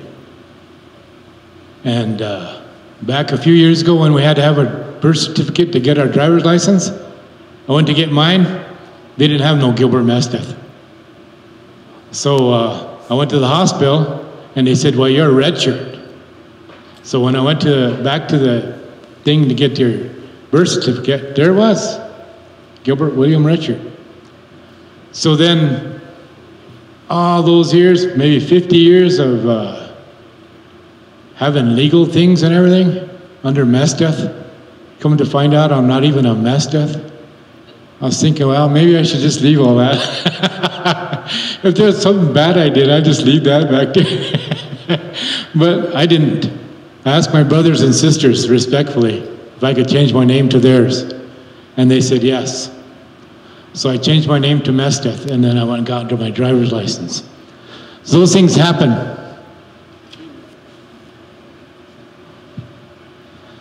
Uh, my comments would be, um, I think uh, if you can prove that you're, you know, from from our uh, our people, you know, verify and, and cross-reference, and people agree. I don't think there should be a timeline on our see. There's a five years after the 1935 was put on there. Um, child born to any member of the Oglala Sioux tribe. You know, I think that was added in there. Um, then and then the, the, change in 08 was tribal council have the authority to adopt uh, laws covering future membership. I think B was added in 08 too. But one of the things that I have um, trouble uh, acknowledging is that we're just members of something. You know, maybe there's other words we could use, uh, Oglala Oyate or Odakue or something that defines us more than just members of a club. You know, um, I don't know if citizenship, citizen is too broad, but I'm thinking Oglala, Oyate, define it a, another way, some that kind of um, gives a sense of purpose rather than just member. We're members of a lot of things, I guess. Um, and this is a, a um, heavy subject on how you define who, who is who. Mm-hmm. But um, I like to at least have the wording changed and in the heading. So.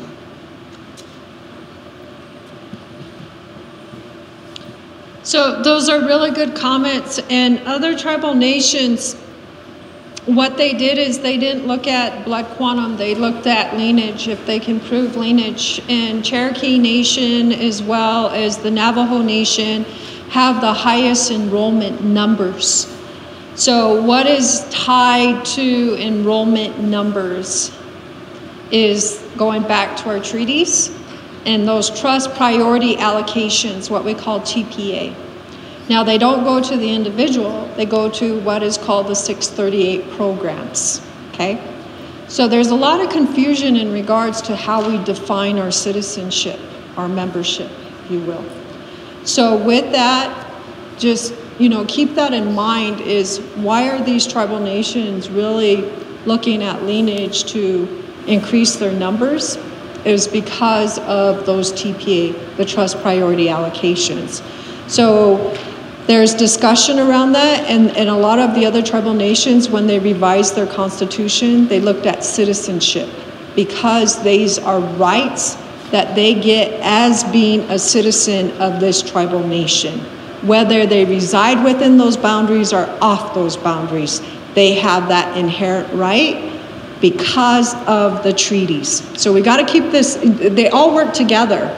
And you have to understand that within our Constitution, we've got to write it to support our rights, which are these contracts called treaties. Okay? So, with that, I think we have a couple of questions. I think sometimes it's hard to uh, try to define our our our laws, our constitution. You know, trying to keep in mind who we are as a people and and why. Uh, we even need to have the written law to govern how we live. However, we also can't forget that uh, we are subject to existing laws that came way before us and something as important as the treaty. So when we're defining membership, um, I feel that uh, if, a, if an individual can identify lineage, uh, or or even like where your uh, family came from, which tiospaye, things like that, are more important and more relevant to uh, us as a people rather than uh, identifying what the blood quantum is.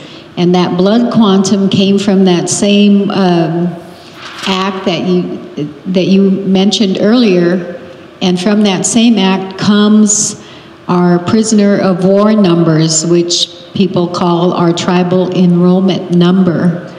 Um, and a lot of the subsequent laws come, uh, come from that, where um, you're talking about, you know, getting $638 and so forth. That's based on blood quantum as well and based on our tri tribal enrollments, you know. So uh, I think that if we were allowed to change, uh, redo the constitution, when you're doing redoing the Constitution, uh, just throw out that blood quantum and, and go on lineage because um, that's what people identify. That's how our families identify. They identify with that rather than coming in and here, uh, this is my relative here who is uh, one eighth uh, Oglala. You know, we don't say that. This is my relative. That's how it goes.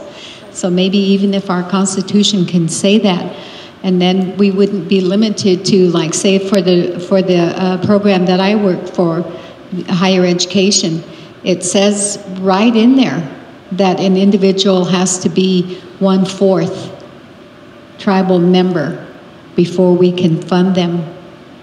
So uh, that's what that, uh, that loss, it, why they put that in place so that we could get dollars for it, you know. Yes, I agree with you, and, and that's why I pointed out the Howard Wheeler Act, and that's where that quantum came from, that blood quantum. We never defined that. That's where it was originated. And then we did accept it. It was part of it. So in those revisions, that when they did this in 2008, they focused on lineage, a child born. So if they can prove it, you know, when you go and enroll, you have to prove your family lineage going back. But the other tribal nations, what they say is lineage or descent of the original rolls. And so if you prove descent, I think that's what, what we need to kind of look at is how we put that language. Whereas some of our community uh, members feel that they stick into wanting to keep the blood quantum. So there's a lot of discussions. There's another side of that that that people strongly feel that we need to go back to blood quantum. So we got a question over here. Yeah, um, I got involved in tribal government back in the 70s, and back back then, uh, there's a lot of people that believed that to be a tribal member, you had to be a full blood. Okay, and I. Uh, uh, I understand their, you know, why they think that way. And there's a lot of tribes that require that you have to be a quarter, or uh, there's uh, some that you have to be half, you know. And the, the, there's good reasons for that. And I think that a lot of times uh, we tend to see things that we only want to see, you know, and that maybe is popular or, you know, but what I uh, suggest, I guess, to, to everybody is to uh, take a look at the other tribes in the United States, not just the other tribes in the United States. Uh, there's indigenous people in Canada, as an example. I've looked at a lot of their uh, uh, uh, documents that relate to the land and their people. And we shouldn't just look at our own ordinance. I mean, our own ordinances, our own constitution. Let's look at others because there's other tribes that have changed theirs over the years, and they've had different lawyers and they deal with different people. And, uh, so that's what I suggest is that to look at the constitution and bylaws of other tribes and um, I, I for one, uh, personally, you know, I'm not, I'm a third, I guess I'm a 21 32nd, uh, and approximately a third. And uh, I believe there needs to be a quantum. I really do, because what I see, I see a lot of people that are less than, probably less than a uh, eighth Indian that are marrying non-Indians. And then their kids are probably going to marry non-Indians too. You know what I mean? And yet they're still, they don't really have much to do with the tribe. You know what I mean? Uh, they're, they're mainly getting their kids enrolled to get benefits of some sort on down the line. And I see that as a problem. I really do because we have limited resources and if, if, you, if you just continue to allow everybody to uh, become members, even though they're uh, one one hundredth, say one one hundredth, because this is going to happen. I mean, seriously, it's going to happen within the next uh, 50 years. Yeah, and and and so that's why I really believe there should be blood quantums myself, a quarter or something like that, or eighth or whatever you know, whatever the people would decide. And I, I think that you know, in here it says a tribal council, but it probably should be a referendum vote you know, when it comes to membership. And so those are some of the some of my uh, thoughts, I guess, and suggestions.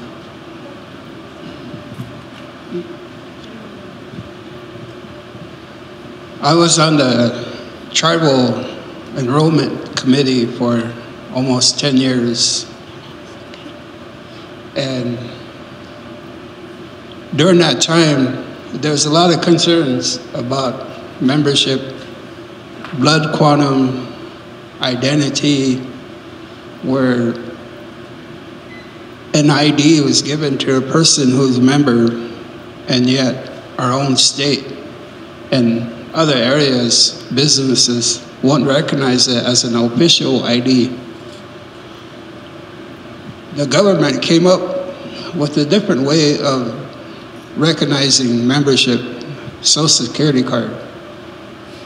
At the time of birth, there's an application given to the mother for that. And it was required, requested from us committee members to give them also an application for membership. But blood quantum goes back to the treaty. Recognizing half or more can receive services from your tribe.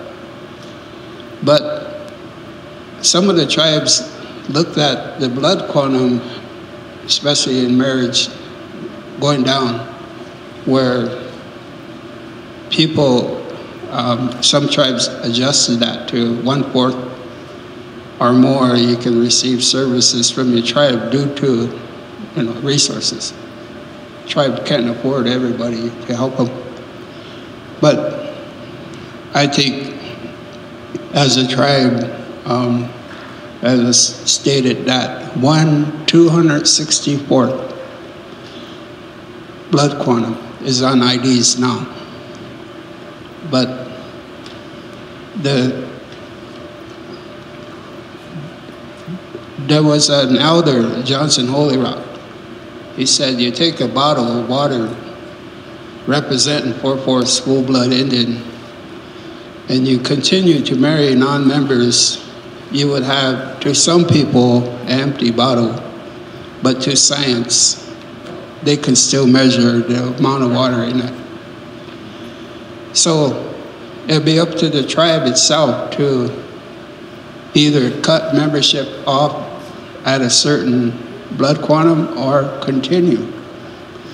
But how small of a blood quantum do you want in your official census rules on membership?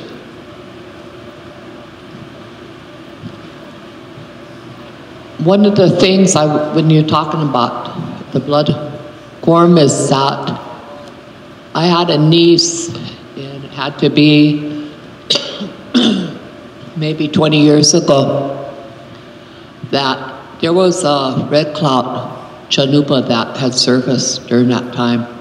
So one of the descendants had to go in Hamblecha for four days and four nights. When she completed that, they gathered at the Sacred Heart Church and they took her down there and they, that, that place was full. I say 70, 80 elderly were there, plus some of our spiritual leaders. And they asked her to tell what they had shown her. And the reason that I'm telling it is because I was told to. If she couldn't tell it, then I was to tell it. And she's since deceased.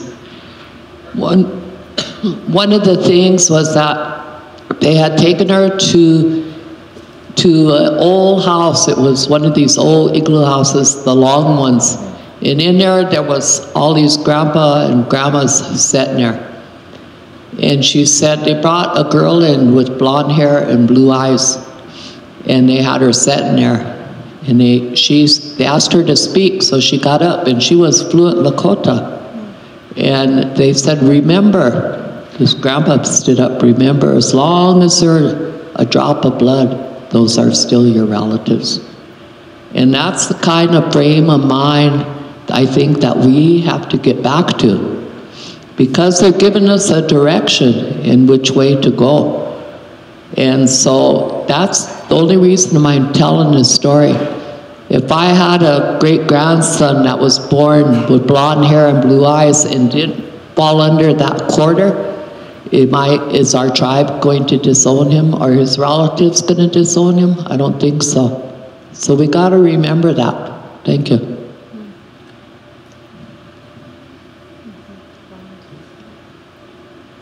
I just want to interject real quick in regards to that. It, you know, there was other discussion, and they talked about, you know, in some of the constitutions within our districts, they talk about their membership in their community and they say bona fide member. And so, what is the definition of bona fide member? Is that they're landowners. And that's how they qualify to be that community member. So that's just something to think about when we talk about membership as well. Now, um, with me, years ago, you know, I'm 21 30 seconds of Oglala Sioux, and my mother is Sicangu. And now, who decides that I'm 21 30 seconds? Do they do a equation thing with like Rosebud Sioux Tribe and Oglala Sioux Tribe? You know, and then um, I contacted Rosebud one time, and they told me if I disenroll from the Oglala Sioux tribe and enroll in the Rosebud Sioux tribe, I'll be 13 16ths. So I have a question there on how who decides the blood quantum, and then on the membership part, who checks to make sure that they're putting the right lineage lineage down. Because one time I was I was in enrollment office and I was comparing my enrollment numbers to my sibling and this woman walks up and she's four four fours. I mean, no offense to the blonde eyed, blue eyed thing, but she was blonde eyed and blue eyed, a blonde hair and blue eyed. And how can she be four four fours and I'm only 21, 30 seconds? So I want to know if they check to make sure that lineage is right. You know, maybe maybe mom's lying, maybe dad's lying. You know, that's a concern I have about the membership part. Okay. So um, I know we have another comment up here, and then we'll move on. But just, just also keep in mind, you know, these are conversations that have been had in the districts and the communities as well, and and we're getting your thoughts, and we and that's what we're doing right now is just getting your thoughts. And in regards to that revision, it goes back to that enrollment code. So they have a committee who goes through and follows that lineage because on that application, when you do fill it out, you kind of fill out the blood quantum too. And they kind of see and they track that blood quantum. So based upon that lineage, that descent. And so with that, we do not include other tribal members as a part of that blood quantum. It doesn't state that in our code, nor does it state it in our, our articles under membership. So we don't consider if I, my mom's Sicangu and my, my dad's Oglala, it doesn't matter. They're going to focus on the Oglala lineage.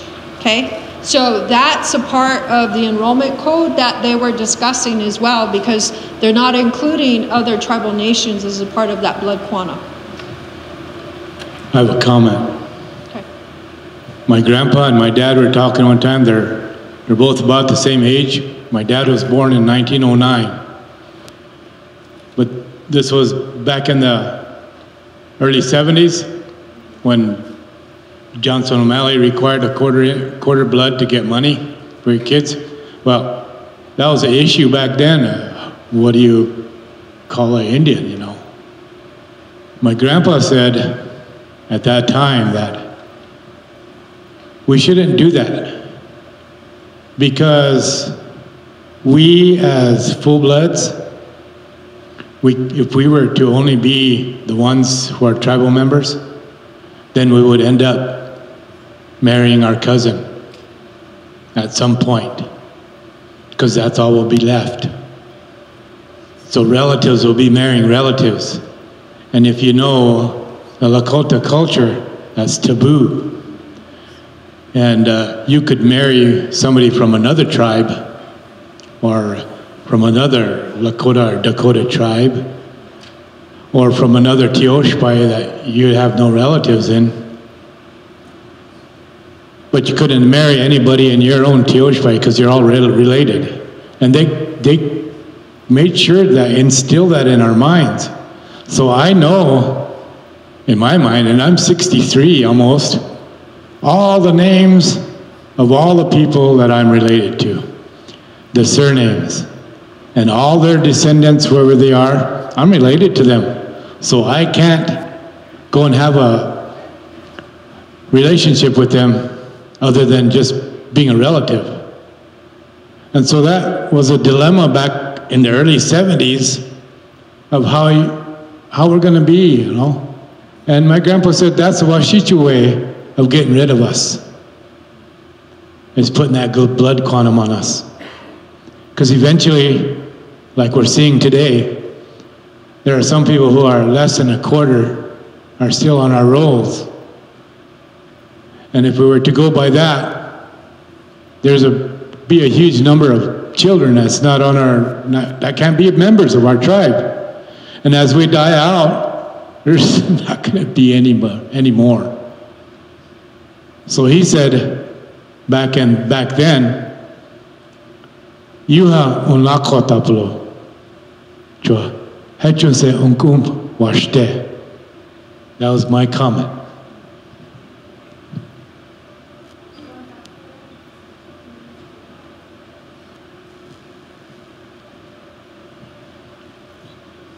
Okay, there's a lot of good discussion, and I wanted to just add kind of like a, maybe a suggestion that using the lineage and the descendants or descent, as well as if blood quantum is so desired, you know, using all three. But I really, I'm in support of the lineage and the descent, you know, because it is, it's true. Somebody mentioned that your tribal ID, it even shows your blood quantum.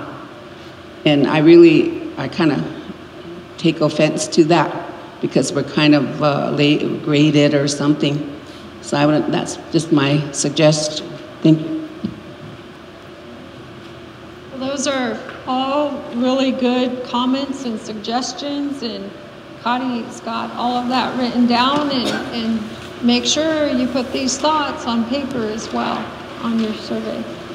Okay, so Article 3. How many of us are ready for a quick break? Or do you want to go into Article 3? Okay.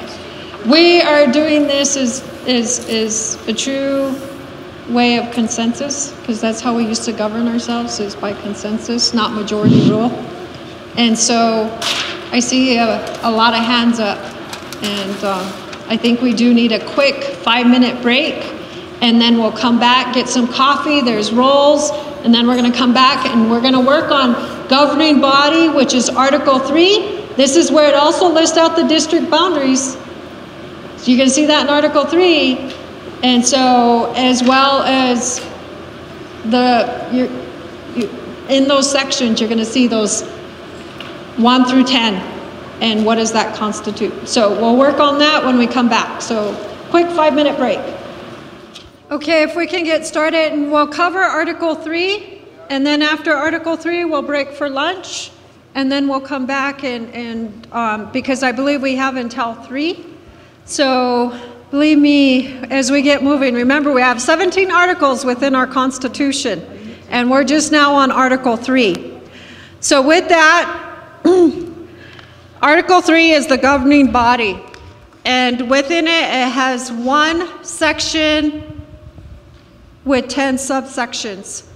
So, with that, Jackie, do you want to read section 1? The governing body of the tribe under this constitu constitution shall be a council which shall be composed of councilmen chosen by secret ballot by qualified voters of the tribe which council shall hereafter be known as the Oglala Sioux Tribe Council. So what would we revise in section one? It says councilmen. Okay, so add council representatives.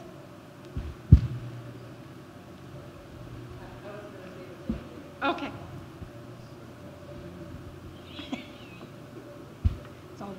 So to update the language, what else?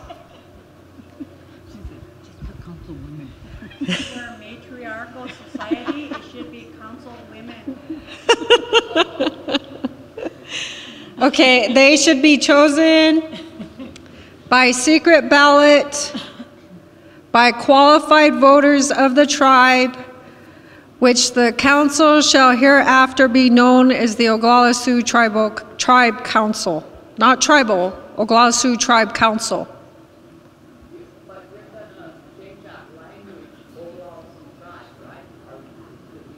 Ogla Nation was the other recommendation. Okay. Okay. So add Oglala Lakota Nation. In the past, Oglala Sioux tribe was challenged to be changed to Oglala Lakota Nation. In the funding uh, departments of this country, they didn't recognize Oglala Lakota Nation at all. So the struggle was to leave it Oglala Sioux tribe. But in the past also, um, Treaty Council, the revision of the Constitution was to look at not by secret ballot, by majority vote, the leadership representing their district shall be nominated by the people of that district. But I don't know if that was acceptable. It never took place. So if you have a leader who represents the people as a person, not, a, not anything else, a, a, they called it a people's people, then each district was to change their constitution to allow that to happen instead of by ballot vote. So whether or not the tribe would do that is up to this revision, I guess. Okay. Okay. So that's what was, I guess, agreed upon in the past. But I think there was discussion of, um, yes, that did pass the name change. It did go to referendum. It did pass to change it to Oglala Lakota Nation. I think the, the discussion was, is, like you said, it, it, it was also worrying about funding and so forth. And what we have to do is apply to change our name on the federal registry. That's all we have to do to make that name change. But the person, nobody was assigned to follow up in that process to make the name change on the federal registry. So we could still do it because it already passed by the people. So that's something that, you know, we need to be, you know, when we make these changes, we need to create the processes in which we follow through with all of the, the changes. Didn't we already change that to Yeah. referendum vote? That's what I'm saying, but it was never changed on the federal registry. Is, uh, is the districts, the districts even uh, legal because there has not really been any boundaries defined, is what it says in the Constitution? One of the things that I'm hearing from different um, people that are discussing this is that your election should never be by uh, about population. It should be about leadership, and it should be up to the people to define that. So one of the things is that uh, they talked about election at, at large, that be nine representatives to represent all the people, not just their district. Um, another thing was our membership that live off the reservation, that they're kind of disinherited and not allowed the same privileges because they had to leave for economic reasons or whatever, that they should still have a voice in this. So, and then the need for an executive board. What is that need when they own, they have limited powers too? And looking at it as, you know, a lot of money comes through our tribe. And looking at a business council, and I've heard this since she, I was a young girl. Uh, people talking about this is that we really need a business council. We don't need an executive board. So with qualifications. So I wanted to put that as a part of it. But it's just hearing from other people that I've discussed things with or listened to, you know. So that's all I got. Thank you. Okay.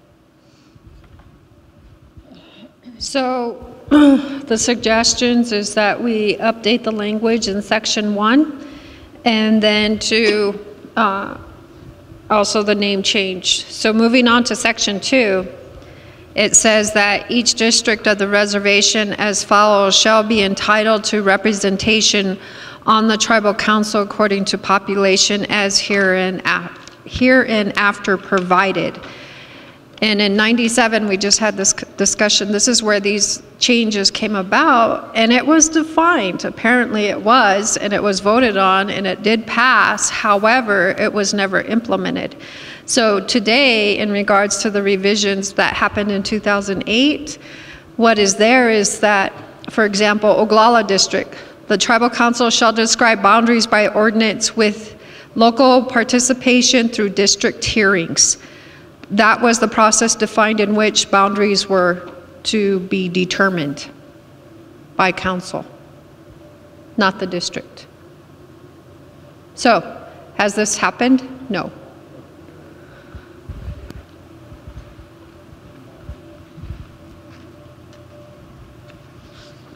The district boundaries was done in the 80s by the BIA requested by tribal council.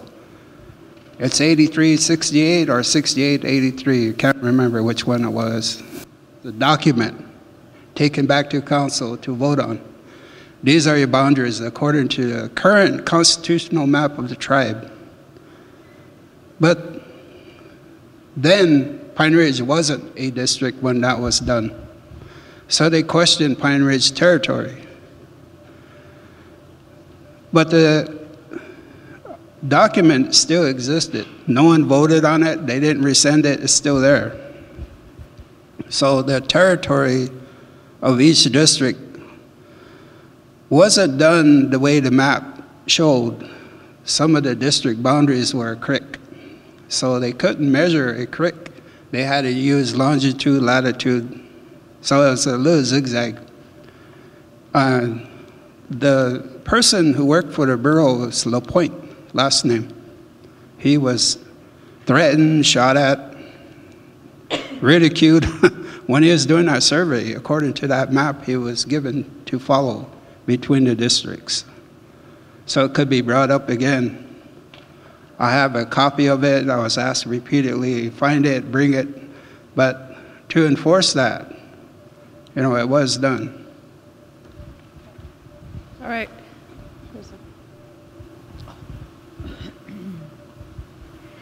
Uh, the issue of the boundaries was also done in 97 amendments. And I was just uh, visiting with um, Tina. I'm sorry. I'm just uh, being an elder. No, I'm just kidding. Um, so and the reason I know about that firsthand is because I worked for the Bureau of Indian Affairs at that time and was in charge of um, doing the um, paperwork and procedures and things like that for that for the um, revisions. So the boundaries were done at that time as well, and they were uh, voted on. Uh, through the for by the people, and that was also signed off on by uh, Cora Jones, who was the regional director at the time. So where it stopped, though, was when it was given back to the tribe, tribal council, to implement the changes. That did, that part there didn't occur. So I uh, told Tina that somewhere in my uh, paperwork that I have, uh, I do have a copy of that. And that co those copies at the time when um, when it came back to us, signed off on, then we made copies upon copies to be given to district people, uh, to council, to to who, whoever wanted that, because that was a public document that could be given. So, and, and that's how I have a copy of it as well. So I'm going to search through my stuff and get that to you. That would be great. So we can finally address this because right now, the way it's written, and because there's no documentation in place, to substantiate, you know, what everybody's saying, we have to take it as hearsay until we have the documentation um, to prove. So with that being said, at this point, you know, when we say at large, well, we have every right. That's why the election should have been held at large because the way it's currently stated within our Constitution. So anybody can legally challenge the the whole last ad, this this administration in regards to the way it's written, as well as past administrations. And I can go vote in whatever district because there's no boundaries defined according to this Constitution. So, and and nobody can stop me from doing that. So, with that being said, the way it's written, that is what's creating it. Now, so how do you determine? How do you determine having representatives, three representatives in your district, when you don't even have boundaries to determine what is your population within those boundaries? So these these are all leading back to, like I said, it goes to Article 3, Article 6, and Article 10.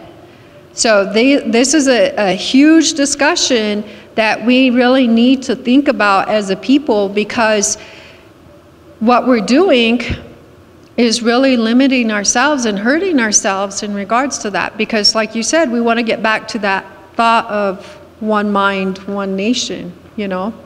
So, with that, the way it's written, we'll continue to segment and fight over boundaries because that's what happens every administration when we talk about boundaries.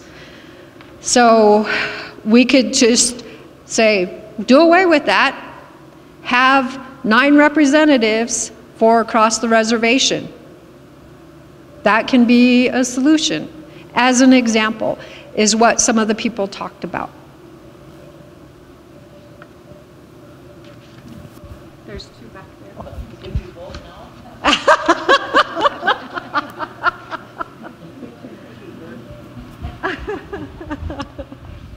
Thank you.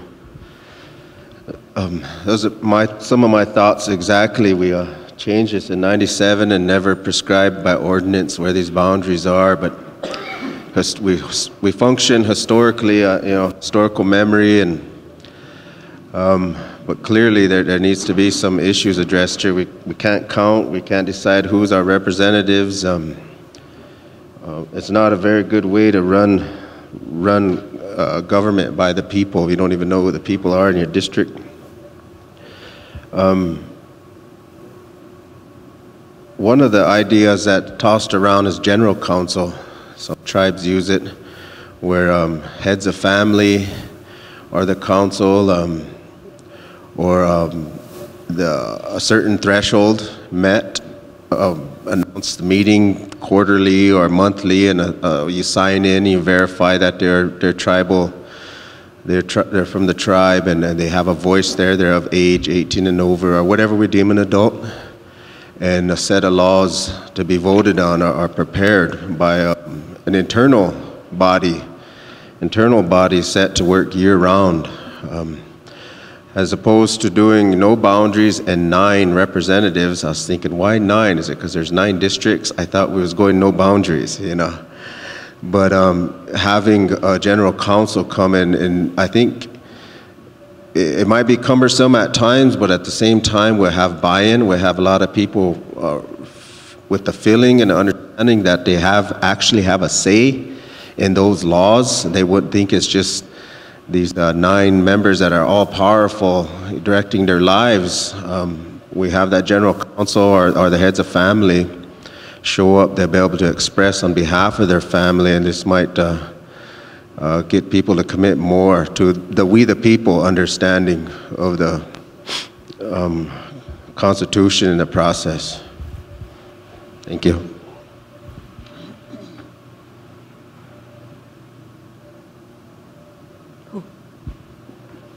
No, him. Garfield? Who was it? Garfield, did you want to say something? Um, Sorry, the light's in my eyes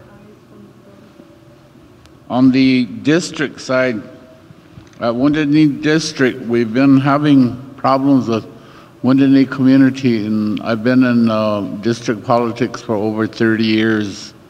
Since I started from day one, Wounded Knee has always wanted their own government, Wounded Knee community.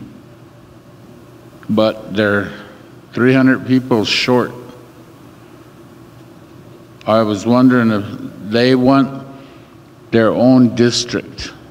And they do, uh, their land base, when we had our boundaries, is almost half of Wounded Knee district. It goes clear up to, uh, well, you guys don't know our district, but it's pretty big, their, their district. And it used to reach all the way to Nebraska. And their population is bigger than uh, number nine communities, Manderson. They, they got about 15 more people according to our census than we do. Um, so I was wondering if there was a way we could instill uh, putting them in as a district, having their own, because it's, as you know, our district fights with, and it's just them. They want their own government, and that's what they've been asking for for 30 years. Let, let us do our own thing. You guys do yours. Um, it's what they've been asking, so I was wondering if there's any way we could put a district in here and let the people vote to see if we can have another district. Just like Pine Ridge did in 97. Um, they have everything already in place for a district. They got the people, they got the government, they got everything set up, but they just don't have no, their own government. So I was wondering if that if we could possibly put them in as a district and let the people vote to see if they can have their own district. Okay. So there's conversations about doing away with the district's representation, and then there's talks about having a general council. Um, there's talks about adding a district. You know, for example, in my our district, Steph and I, we have Retro Table and Oglala Junior, and their constitutions were approved by Congress. Therefore, the tribe cannot make revisions to those boundaries. The tribe's constitution doesn't impact it unless it gets approved through Congress. Okay? Therefore, these two communities, that, that's how they're viewed as communities, should be viewed as a district because they were passed by Congress. Okay? Therefore, they should have representation. And they did in the past. They had a representative from Red Shirt and a representative from Oglala Junior. However, somewhere in all of these revisions, that got lost because Article 6 got changed, which is districts, right? They took a lot of authority away when they revised Article 6. So now the districts are at the mercy of what tribal council determines here.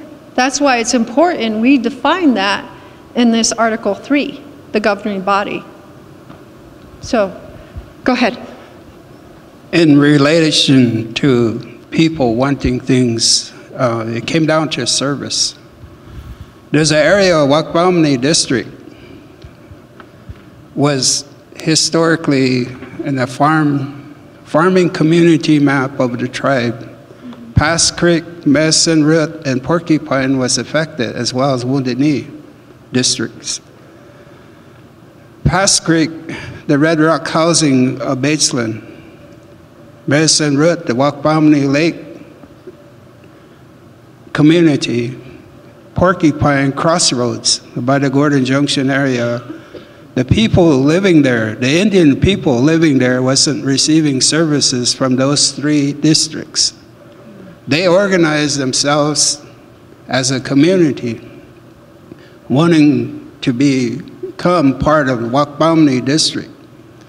The way it was written then, Wakpamni district accepted that and all lands in between, which took out part of Wounded Knee District because of people on the border of Nebraska at the junction area and Denby wasn't being met by the Wounded Knee District. So Wakpamni adopted that area as part of the Wakpamni District. So that's where the current constitutional map shows that area, Wakpamni, the southern um, part of Shannon County.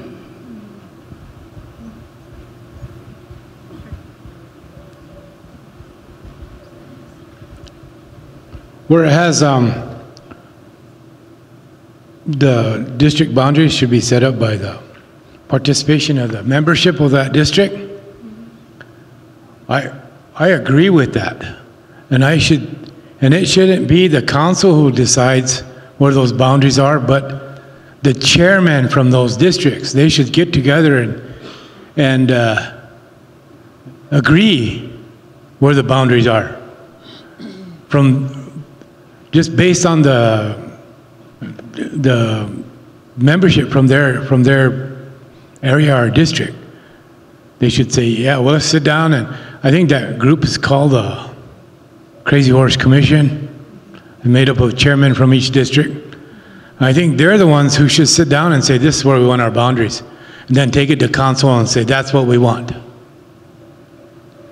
And uh, it, it would be a request from the people of the tribe and not made up from the council.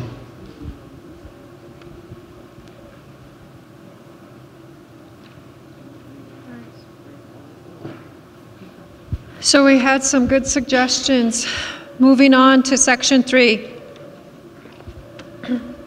Tribal councils shall have the authority to make changes in the foregoing list according to the future community needs, subject to the approval of the Secretary of Interior.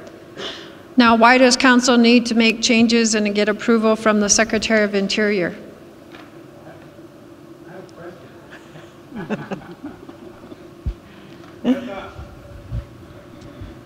I thought all those approvals were supposed to be taken out of our Constitution because we had a referendum vote that said to take those out. And the BIA accepted that. So this is why it's important that we revise our Constitution to remove that based upon the history. Again, it goes back to archiving and documentation. So we, we can make all, like, for example, on council, we can sit there and vote yes and no all day long, vote no. But that doesn't matter unless there's something that follows through in that action. And right now, we don't have those in place. Okay, so those were to strike that. The suggestion is to remove it and then also to look for supporting documentation that it went on to referendum vote for that to be removed from the Constitution. Section 4. Here, you read it.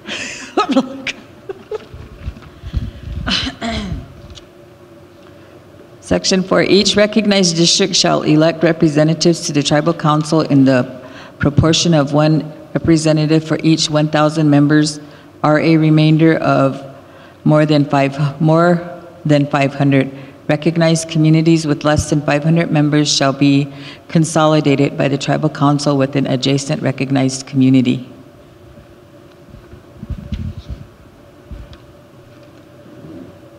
So Garfield, when you asked the question, why couldn't Wounded Knee, and you said they didn't have the population base to have, you know, their own government or representation, is that if they have less than that threshold, then they get absorbed by that community.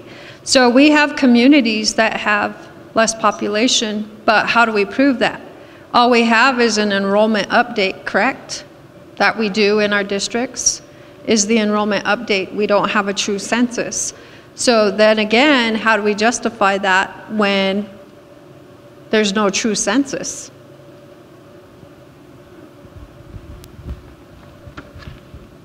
The tribe itself has, I believe, 52 communities. One of our communities wanted to do the same thing Wounded Knee did. They want representation, Slim Buttes. But again, population. Um, restricted that from happening. So if we continue to allow communities to have representation on tribal council, we have 52 members, of tribal council, but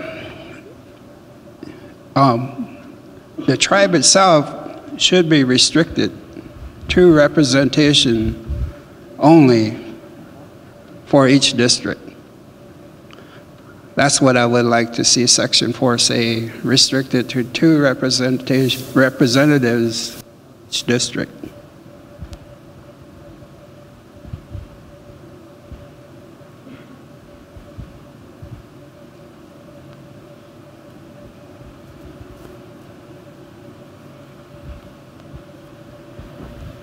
I know you've already spoken about this, but um, I think the voting should be at large because the representatives are there for the whole tribe, not just the district. And a lot of times it just comes down to a popularity contest. So.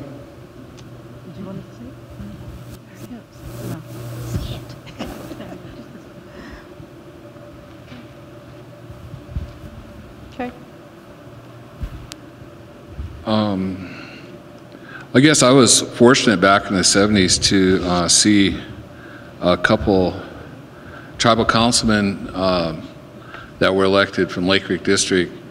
Um, I guess uh, do a really good job of representing the people, and they did it by uh, working out of the district service center, and they were there almost every day. One of them, if not both and they would show up at 8 o'clock and if they had a council meeting at 10 a lot most of the time they rode together to the meeting. And they were there at 8 to 9 whatever to help people. And they did, did this for many many years. And this was newton cummings and charles badlin and my concern is that if you go with a, this at, at large thing and if they're not from that district, how are those people going to get assistance? You know, because um, they have a wide range of assistance. Now they do get assistance from the employees that work there, as well as their the executive board, but sometimes they need assistance from the elected officials, and so. I, I for one, I'm an advocate for for uh, keeping the districts as is. And uh, I guess there was one suggestion to reduce the uh, number from uh, to one per district. But anyway, I, I guess I, I still believe in uh, having, uh, instead of at large, I think it should be uh, at the local level to keep people that, that live there in those areas, have them there to, you know, help the people that live there, you know? Because you might end up with somebody that gets elected that lives, you know, 70 miles away, you know? And I don't think that's realistic. Thank you.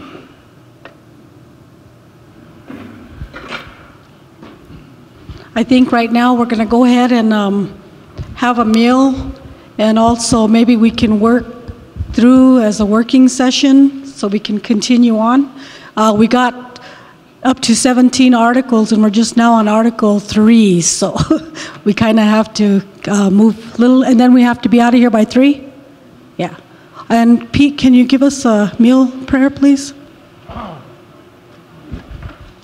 Ho mi ti ta ke pia ke, wo te wo che kia, chantai un wa ka ngte. Ho tun kash la ke le, to a wo ta ahib na, lo i kham ke wo pla ta ka hecha na le, um,